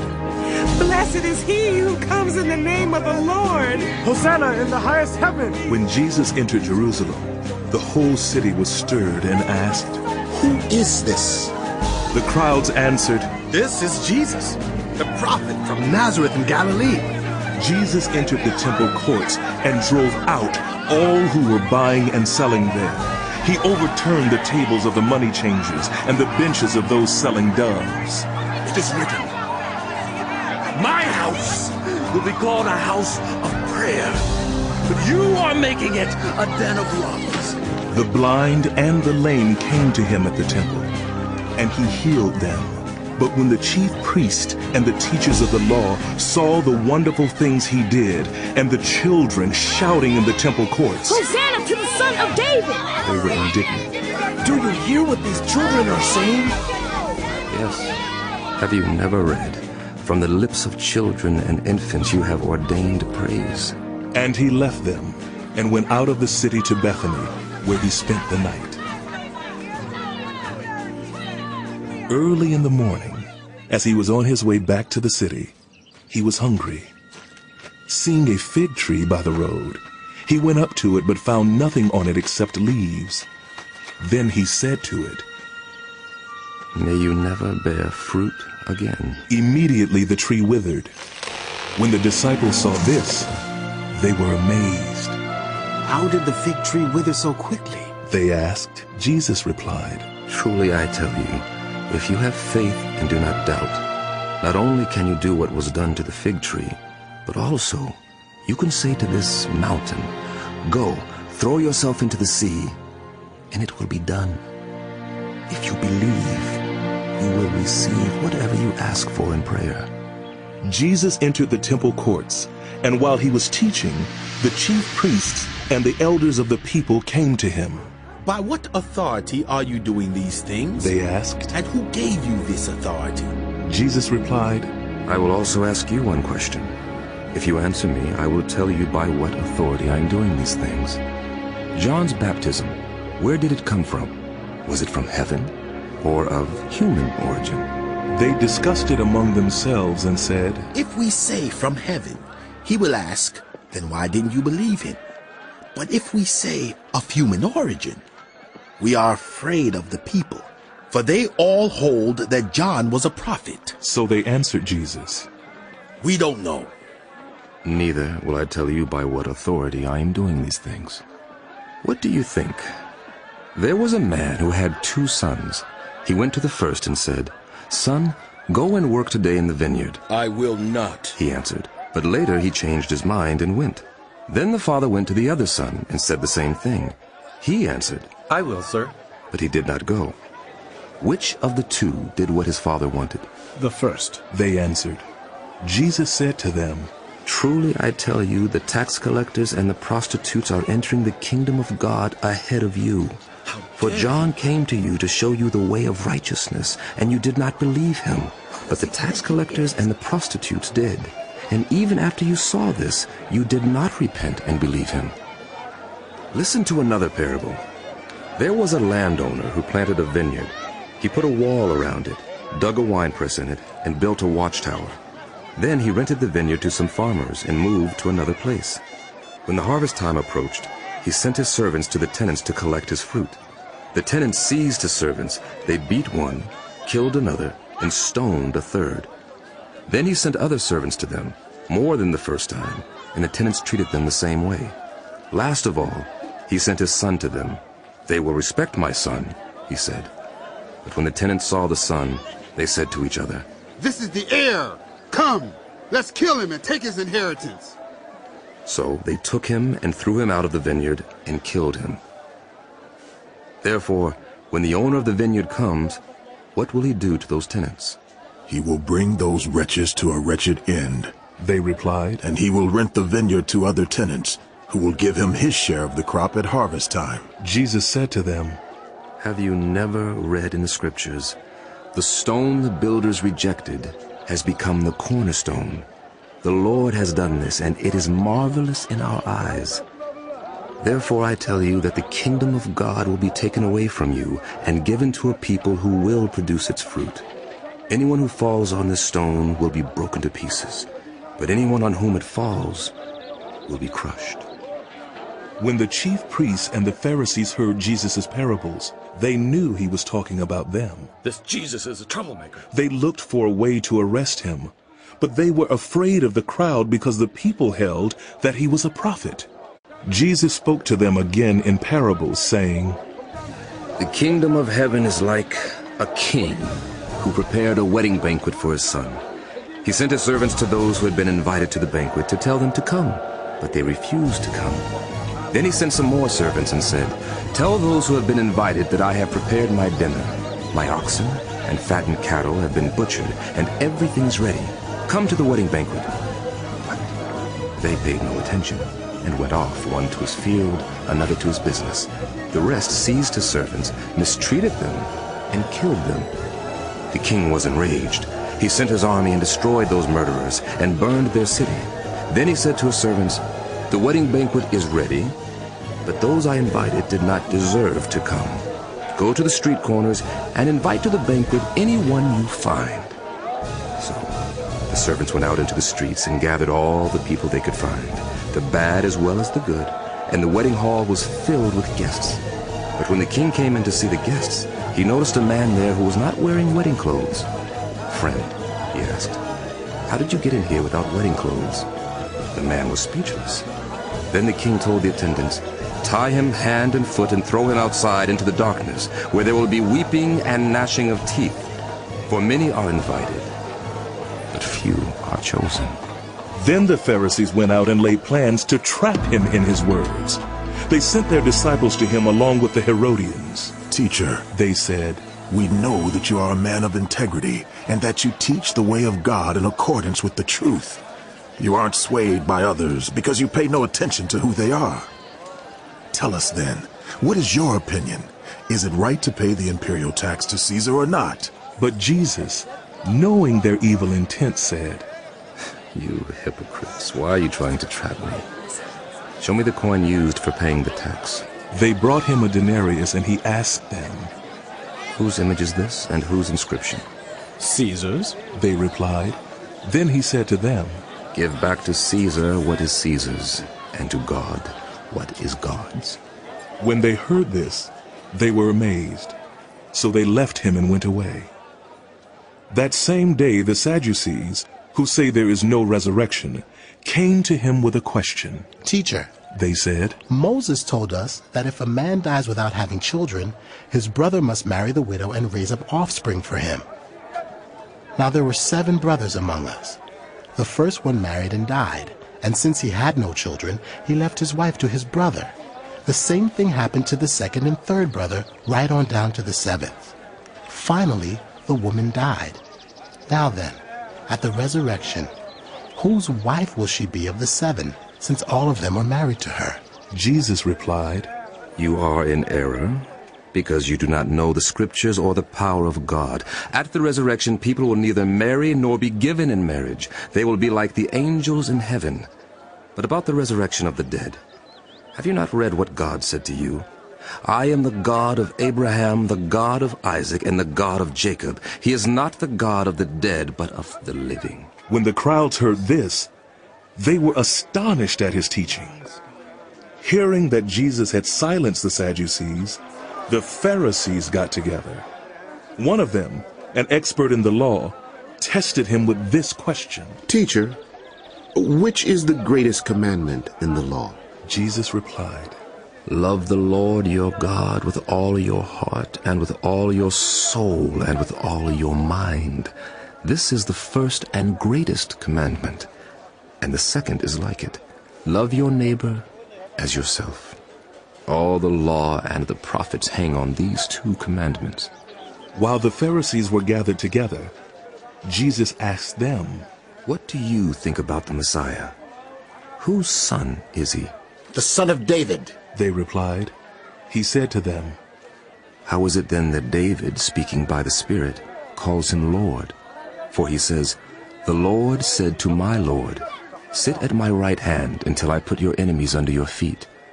If then David calls him Lord, how can he be his son? No one could say a word in reply. And from that day on, no one dared to ask him any more questions. Then Jesus said to the crowds and to his disciples, The teachers of the law and the Pharisees sit in Moses' seat. So you must be careful to do everything they tell you. But do not do what they do, for they do not practice what they preach. They tie up heavy, cumbersome loads and put them on other people's shoulders, but they themselves are not willing to lift a finger to move them. Everything they do is done for people to see. They make their phylacteries wide and the tassels on their garments long. They love the place of honor at banquets and the most important seats in the synagogues. They love to be greeted with respect in the marketplaces and to have people call them rabbi. But you are not to be called rabbi, for you have only one master and you are all brothers.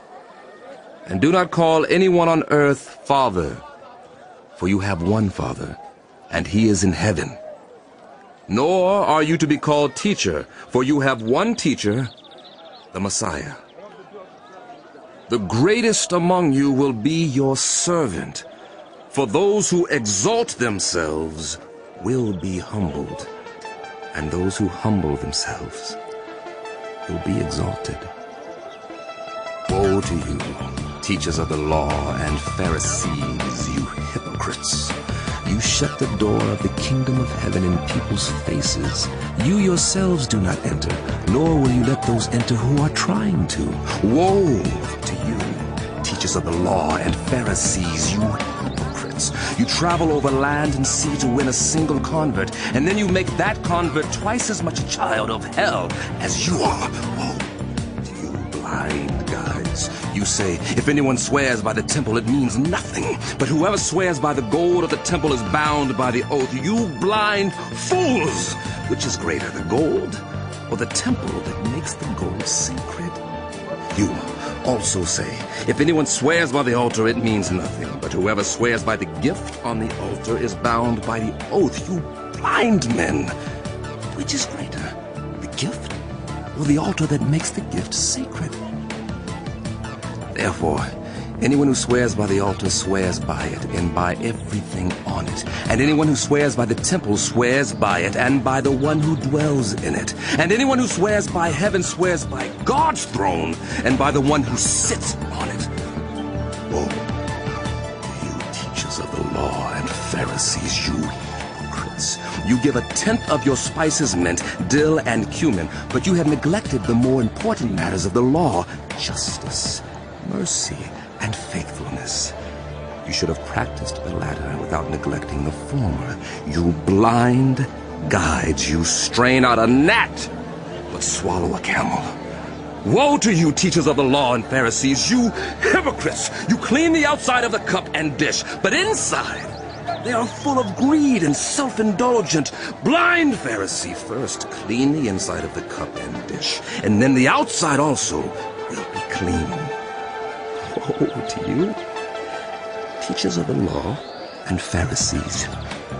You hypocrites, you are like whitewashed tombs, which look beautiful on the outside, but on the inside are full of the bones of the dead and everything unclean. In the same way, on the outside you appear to people as righteous, but on the inside you are full of hypocrisy and wickedness. Woe to you, teachers of the law and Pharisees, you hypocrites, you build tombs for the prophets and decorate the graves of the righteous. And you say, if we had lived in the days of our ancestors, we would not have taken part with them in shedding the blood of the prophets. So you testify against yourselves that you are the descendants of those who murdered the prophets.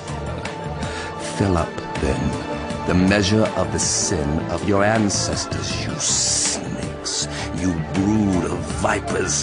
How will you escape being condemned to hell? Therefore, I am sending you prophets and sages and teachers. Some of them you will kill and crucify.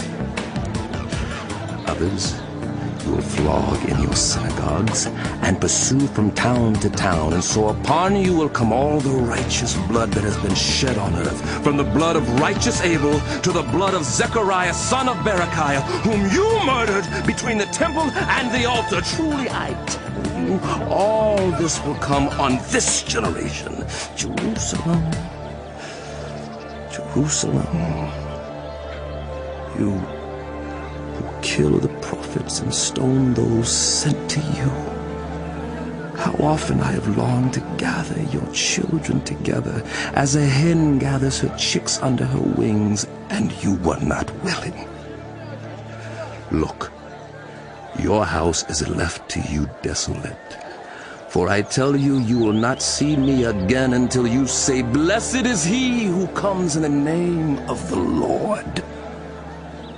Jesus left the temple and was walking away when his disciples came up to him to call his attention to its building. Master, look! Do you see all these things? Yes, Master. Yes. Yes. Truly I tell you, not one stone here will be left on another. Every one will be thrown down. As Jesus was sitting on the Mount of Olives, the disciples came to him privately. Tell us, they said, when will this happen and what will be the sign of your coming and the end of the age? Hmm.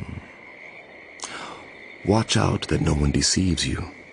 For many will come in my name, claiming, I am the Messiah, and will deceive many. You will hear of wars and rumors of wars, but see to it that you are not alarmed. Such things must happen, but the end is still to come.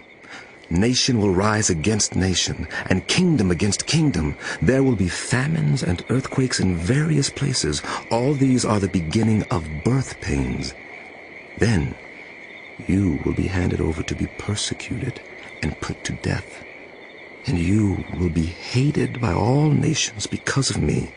At that time, many will turn away from the faith and will betray and hate each other, and many false prophets will appear and deceive many people. Because of the increase of wickedness, the love of most will grow cold, but whoever stands firm to the end will be saved. And this gospel of the kingdom will be preached in the whole world as a testimony to all nations, and then the end will come. So, when you see standing in the holy place the abomination that causes desolation, spoken of through the prophet Daniel, let the reader understand. Then let those who are in Judea flee to the mountains.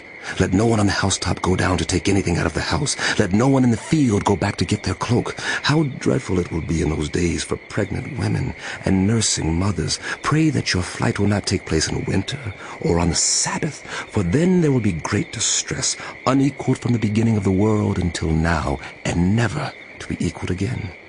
If those days had not been cut short, no one would survive. But for the sake of the elect, those days will be shortened. At that time, if anyone says to you, Look, here is the Messiah, or There he is, do not believe it. For false messiahs and false prophets will appear and perform great signs and wonders to deceive, if possible, even the elect. See? I have told you ahead of time.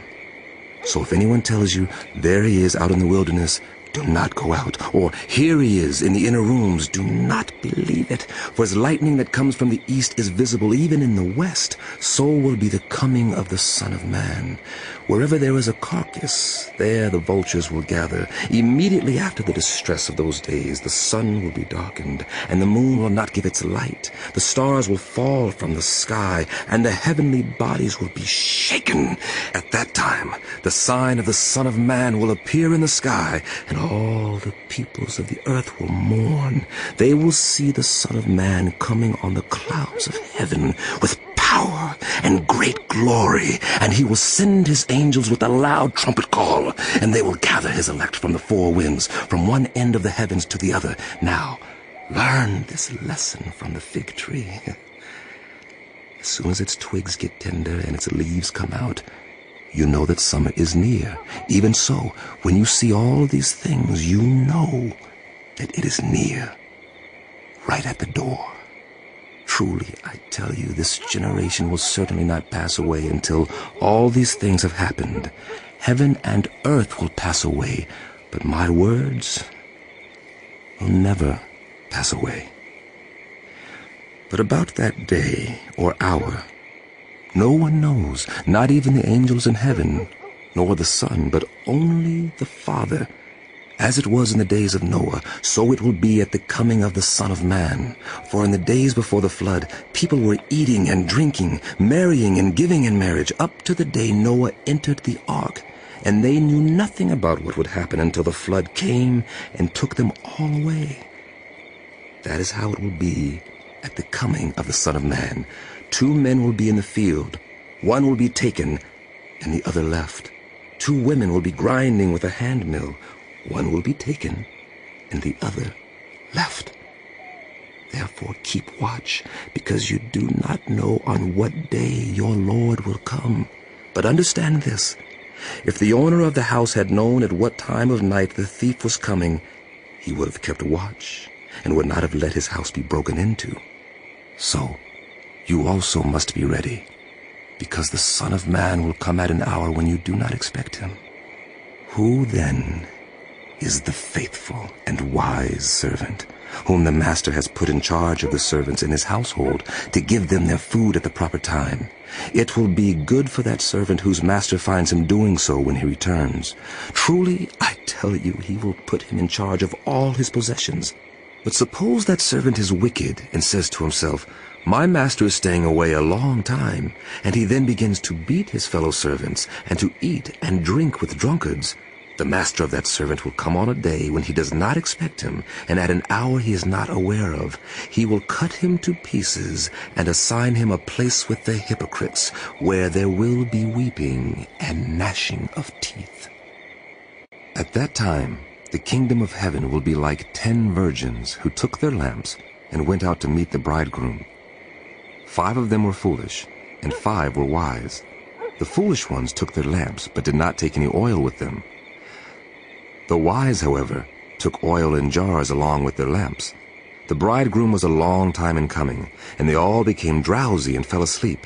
At midnight, the cry rang out, Here's the bridegroom! Come out to meet him! Then all the virgins woke up and trimmed their lamps. The foolish ones said to the wise, Give us some of your oil. Our lamps are going out. No, there may not be enough for both of us and you. Instead, go to those who sell oil and buy some for yourselves. But while they were on their way to buy the oil, the bridegroom arrived. The virgins who were ready went in with him to the wedding banquet, and the door was shut. Later, the others also came. Sir! Sir! They said, Open the door for us! but he replied, Truly I tell you, I don't know you. Therefore keep watch, because you do not know the day or the hour. Again, it will be like a man going on a journey who called his servants and entrusted his wealth to them. To one he gave five bags of gold, to another two bags, and to another one bag, each according to his ability. Then he went on his journey. The man who had received five bags of gold went at once and put his money to work and gained five bags more. So also, the one with two bags of gold gained two more. But the man who had received one bag went off, dug a hole in the ground, and hid his master's money. After a long time, the master of those servants returned and settled accounts with them.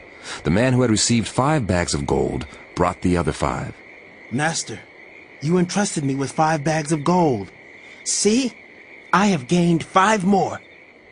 His master replied, Well done, good and faithful servant. You have been faithful with a few things. I will put you in charge of many things. Come and share your master's happiness. The man with two bags of gold also came. Master, He said, you entrusted me with two bags of gold. See? I have gained two more. His master replied, Well done, good and faithful servant. You have been faithful with a few things. I will put you in charge of many things. Come and share your master's happiness.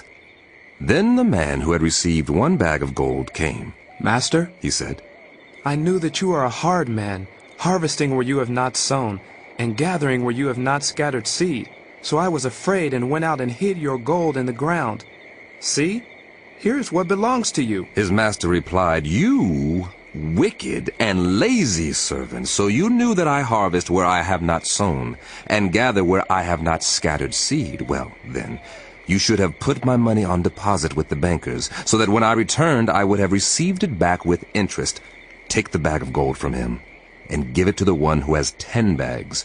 For those who have will be given more, and they will have an abundance. As for those who do not have, even what they have will be taken from them. And throw that worthless servant outside into the darkness, where there will be weeping and gnashing of teeth. When the Son of Man comes in his glory, and all the angels with him, he will sit on his glorious throne.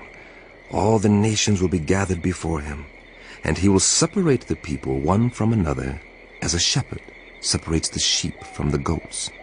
He will put the sheep on his right, and the goats on his left.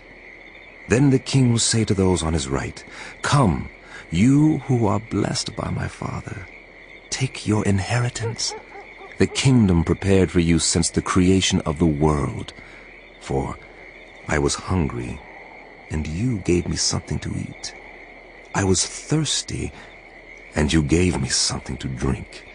I was a stranger, and you invited me in. I needed clothes, and you clothed me. I was sick, and you looked after me. I was in prison, and you came to visit me. Then the righteous will answer him, Lord, when did we see you hungry and feed you, or thirsty and give you something to drink? When did we see you a stranger and invite you in, or needing clothes and, and, and clothe you? When did we see you sick or in prison and go to visit you? The king will reply, Truly I tell you, whatever you did for one of the least of these brothers and sisters of mine, you did for me. Then he will say to those on his left, Depart from me, you who are cursed, into the eternal fire prepared for the devil and his angels. For I was hungry, and you gave me nothing to eat. I was thirsty, and you gave me nothing to drink. I was a stranger, and you did not invite me in. I needed clothes, and you did not clothe me. I was sick and in prison, and you did not look after me. They also will answer, Lord, when did we see you hungry or thirsty, or a stranger or needing clothes, or sick or in prison, and did not help you? He will reply, Truly I tell you, whatever you did not do for one of the least of these, you did not do for me. Then they will go away to eternal punishment, but the righteous, ah, to eternal life. Good teaching, Master. When Jesus had finished saying all these things, he said to his disciples, As you know, the Passover is two days away, and the Son of Man will be handed over to be crucified. Then the chief priests and the elders of the people assembled in the palace of the high priest, whose name was Caiaphas, and they plotted to arrest Jesus in some sly way and kill him. Stopped.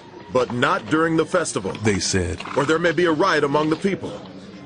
While Jesus was in Bethany in the home of Simon the leper, a woman came to him with an alabaster jar of very expensive perfume, which she poured on his head as he was reclining at the table.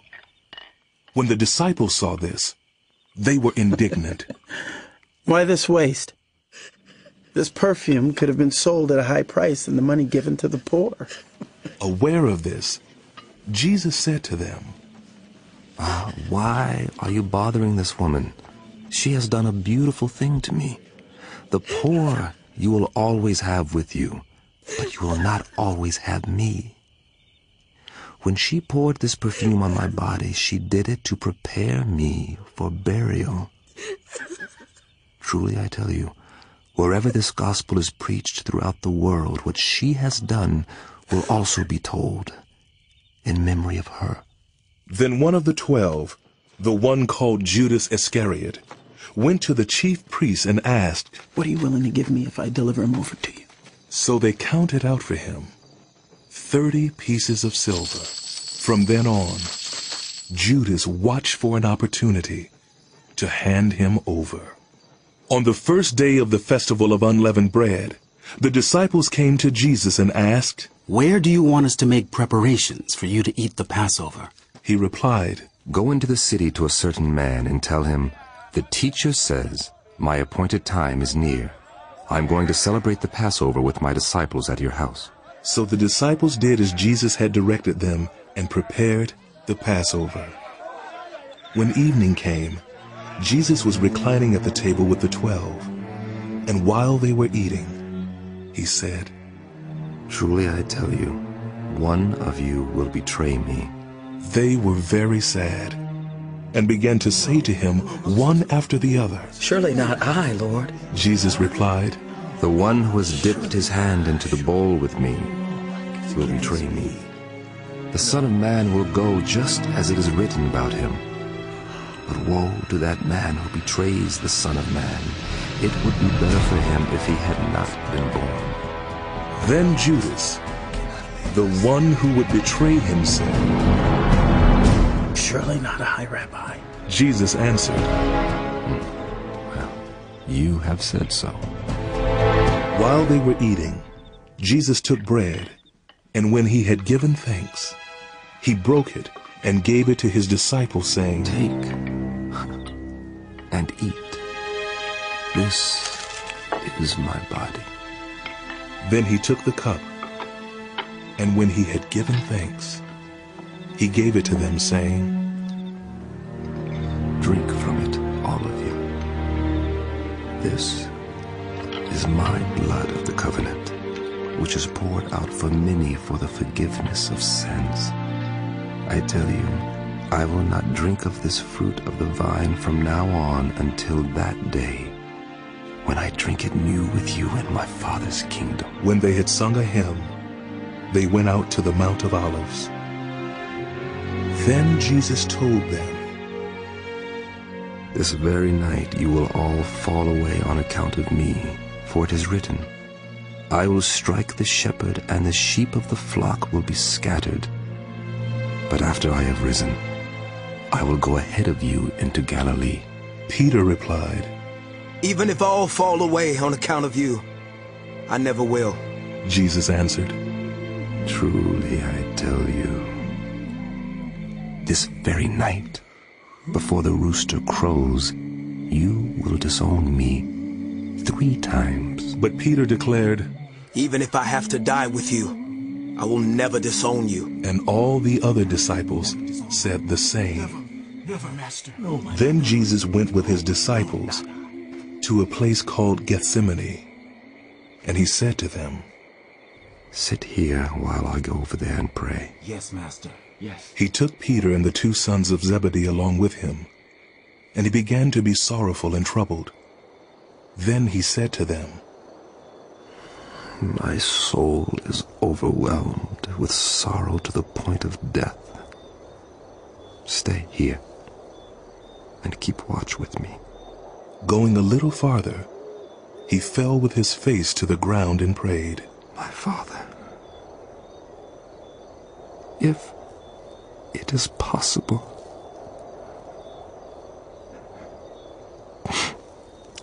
may this cup be taken from me. Yet not as I will, but as you will. Then he returned to his disciples and found them sleeping. Couldn't you men keep watch with me for one hour? He asked Peter. Yes. Yes. Yes. Watch and pray so that you will not fall into temptation. The spirit is willing, but the flesh is weak. He went away a second time and prayed. My Father, if it is not possible for this cup to be taken unless I drink it, may your will be done. When he came back, he again found them sleeping, because their eyes were heavy. So he left them and went away once more and prayed the third time, saying the same thing. Then he returned to the disciples and said to them, Are you still sleeping and resting? Look! The hour is near, and the Son of Man is delivered into the hands of sinners. Rise, rise, let us go. Here comes my betrayer. While he was still speaking, Judas, one of the twelve, arrived. With him was a large crowd armed with swords and clubs, sent from the chief priests and the elders of the people. Now the betrayer had arranged a signal with them. When I kiss is the man, arrest him. Going at once to Jesus, Judas said, Great greetings, Rabbi. And kissed him. Jesus replied, what you came for. Then the men stepped forward, seized Jesus, and arrested him. With that, one of Jesus' companions reached for his sword, drew it out, and struck the servant of the high priest, cutting off his ear. Put your sword back in its place. Jesus said to him, For all who draw the sword will die by the sword. Do you think I cannot call on my Father, and he will at once put at my disposal more than twelve legions of angels? But how then would the scriptures be fulfilled that say it must happen in this way? In that hour, Jesus said to the crowd, Am I leading a rebellion? That you have come out with swords and clubs to capture me? Every day I sat in the temple courts teaching, and you did not arrest me. But this has all taken place that the writings of the prophets might be fulfilled. Then all the disciples deserted him and fled. Those who had arrested Jesus took him to Caiaphas the high priest, where the teachers of the law and the elders had assembled. But Peter followed him at a distance, right up to the courtyard of the high priest. He entered and sat down with the guards to see the outcome. The chief priests and the whole Sanhedrin were looking for false evidence against Jesus so that they could put him to death. But they did not find any, though many false witnesses came forward. Finally, two came forward and declared, This fellow said, I am able to destroy the temple of God and rebuild it in three days. Then the high priest stood up and said to Jesus, Are you not going to answer? What is this testimony that these men are bringing against you? But Jesus remained silent. The high priest said to him, I charge you under oath by the living God. Tell us if you are the Messiah, the Son of God. You have said so. But I say to all of you, from now on you will see the Son of Man sitting at the right hand of the Mighty One and coming on the clouds of heaven. Then the high priest tore his clothes and said, He has spoken blasphemy. Why do we need any more witnesses? Look, now you've heard the blasphemy. What do you think? He is worthy of death. They answered. Then they spit in his face and struck him with their fists. Others slapped him and said, Prophesy to us, Messiah. Who hit you? Now Peter was sitting out in the courtyard, and a servant girl came to him. You also were with Jesus of Galilee. She said, but he denied it before them all. I don't know what you're talking about, he said. Then he went out to the gateway where another servant girl saw him and said to the people there, This fellow was with Jesus of Nazareth. He denied it again with an oath. I don't know the man. After a little while, those standing there went up to Peter and said, Surely you are one of them. Your accent gives you away. Then he began to call down curses, and he swore to them. I don't know the man. Immediately, a rooster crowed. Then Peter remembered the word Jesus had spoken. Before the rooster crows, you will disown me three times. And he went outside and wept bitterly. Early in the morning, all the chief priests and the elders of the people came to the decision to put Jesus to death. They bound him, led him away, and handed him over to Pilate the governor. When Judas, who had betrayed him, saw that Jesus was condemned, he was seized with remorse and returned the thirty pieces of silver to the chief priests and the elders. I, I have sinned, he said. I have betrayed innocent blood. I, I have sinned. What is that to us? They replied. That's your responsibility. So Judas threw the money into the temple and left. Then he went away and hanged himself. The chief priest picked up the coins and said, It is against the law to put this into the treasury since it is blood money. So they decided to use the money to buy the potter's field as a burial place for foreigners. That is why it has been called the Field of Blood to this day. Then what was spoken by Jeremiah the prophet was fulfilled. They took the thirty pieces of silver, the price set on him by the people of Israel, and they used them to buy the potter's field, as the Lord commanded me. Meanwhile, Jesus stood before the governor, and the governor asked him, Are you the king of the Jews? You have said so. Jesus replied. When he was accused by the chief priests and the elders, he gave no answer. Then Pilate asked him, Don't you hear the testimony that they are bringing against you? But Jesus made no reply, not even to a single charge, to the great amazement of the governor. Now it was the governor's custom at the festival to release a prisoner chosen by the crowd. At that time, they had a well-known prisoner whose name was Jesus Barabbas. So when the crowd had gathered, Pilate asked them, Which one do you want me to release to you? Barabbas or Jesus, who is called the Messiah? Give us Barabbas! For he knew it was out of envy that they had handed Jesus over to him. While Pilate was sitting on the judge's seat, his wife sent him this message. Don't have anything to do with that innocent man. For I have suffered a great deal today in a dream because of him. But the chief priests and the elders persuaded the crowd to ask for Barabbas and to have Jesus executed. Which of the two do you want me to release to you? asked the governor. Barabbas! They answered. What shall I do then with Jesus who is called the Messiah? Pilate asked. They all answered. Why? What crime has he committed? asked Pilate. But they shouted all the louder.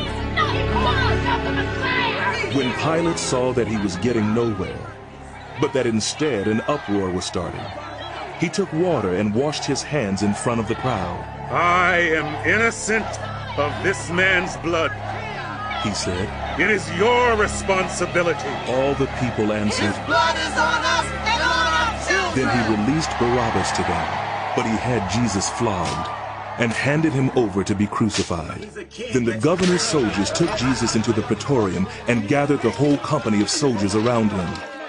They stripped him and put a scarlet robe on him and then twisted together a crown of thorns and set it on his head. They put a staff in his right hand as a scepter. Then they knelt in front of him and mocked him. Hail! Hail! King of the Jews! They said. They spit on him and took the staff and struck him on the head again and again. After they had mocked him, they took off the robe and put his own clothes on him. Then they led him away to crucify him. As they were going out, they met a man from Cyrene named Simon, and they forced him to carry the cross. They came to a place called Golgotha, which means the place of the skull. There they offered Jesus wine to drink, mixed with gall. But after tasting it, he refused to drink it. When they had crucified him, they divided up his clothes by casting lots. And sitting down, they kept watch over him there. Above his head, they placed the written charge against him. This is Jesus, the King of the Jews. Two rebels were crucified with him, one on his right and one on his left. Those who passed by hurled insults at him, shaking their heads and saying, You, who are going to destroy the temple and build it in three days, save yourself. Come down from the cross if you are the Son of God. In the same way, the chief priests, the teachers of the law, and the elders mocked him.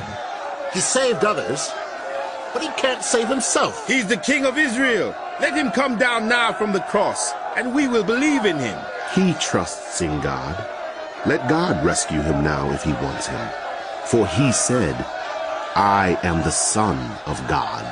In the same way, the rebels who were crucified with him also heaped insults on him. From noon until three in the afternoon, darkness came over all the land.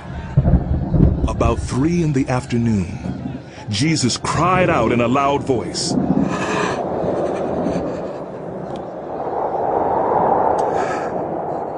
Eli, Eli, lima sabachthani, which means, My God, my God, why have you forsaken me?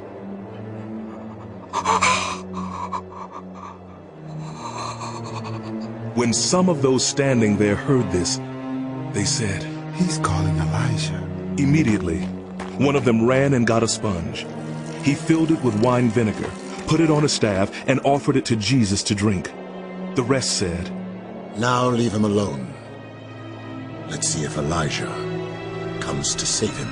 And when Jesus cried out again in a loud voice, gave up his spirit. At that moment, the curtain of the temple was torn in two from top to bottom. The earth shook, the rock split, and the tombs broke open. The bodies of many holy people who had died were raised to life. They came out of the tombs after Jesus' resurrection and went into the holy city and appeared to many people. When the centurion and those with him who were guarding Jesus saw the earthquake and all that had happened, they were terrified and exclaimed, Surely he was the Son of God. Many women were there, watching from a distance. They had followed Jesus from Galilee to care for his needs. Among them were Mary Magdalene, Mary the mother of James and Joseph, and the mother of Zebedee's sons. As evening approached, there came a rich man from Arimathea named Joseph, who had himself become a disciple of Jesus. Going to Pilate, he asked for Jesus' body, and Pilate ordered that it be given to him. Joseph took the body, wrapped it in a clean linen cloth, and placed it in his own new tomb that he had cut out of the rock. He rolled a big stone in front of the entrance to the tomb and went away. Mary Magdalene and the other Mary were sitting there opposite the tomb. The next day, the one after preparation day, the chief priests and the Pharisees went to Pilate. Sir, they said, we remember that while he was still alive, that deceiver said, After three days I will rise again. So give the order for the tomb to be made secure until the third day. Otherwise, his disciples may come and steal the body and tell the people that he has been raised from the dead.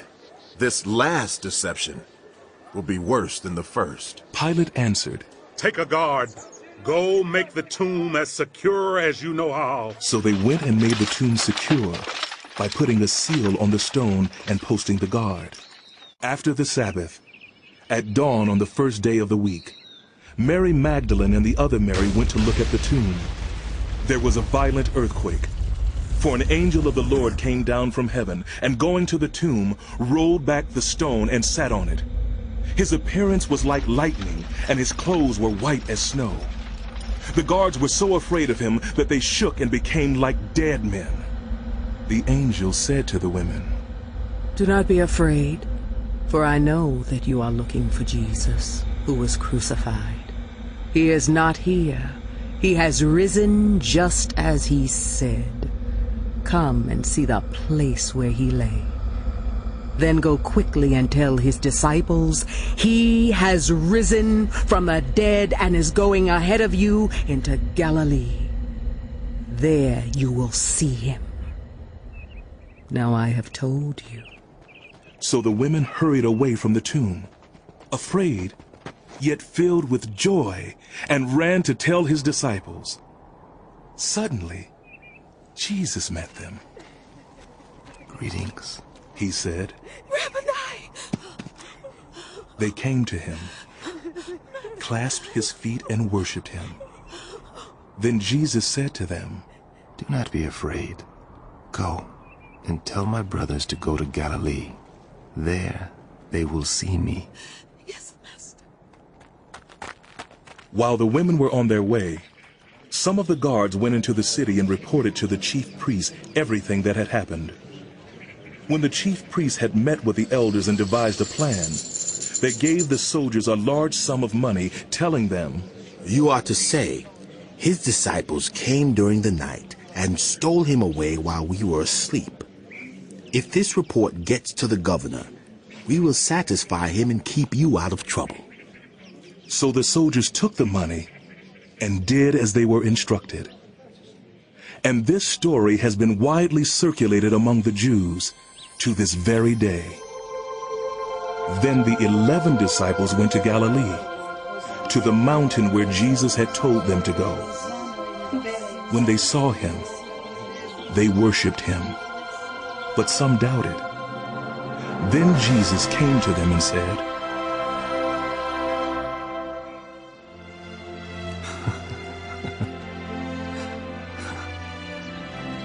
All authority in heaven and on earth has been given to me. Therefore, go and make disciples of all nations, baptizing them in the name of the Father and of the Son and of the Holy Spirit, and teaching them to obey everything I have commanded you. And surely I am with you always to the very end of the age.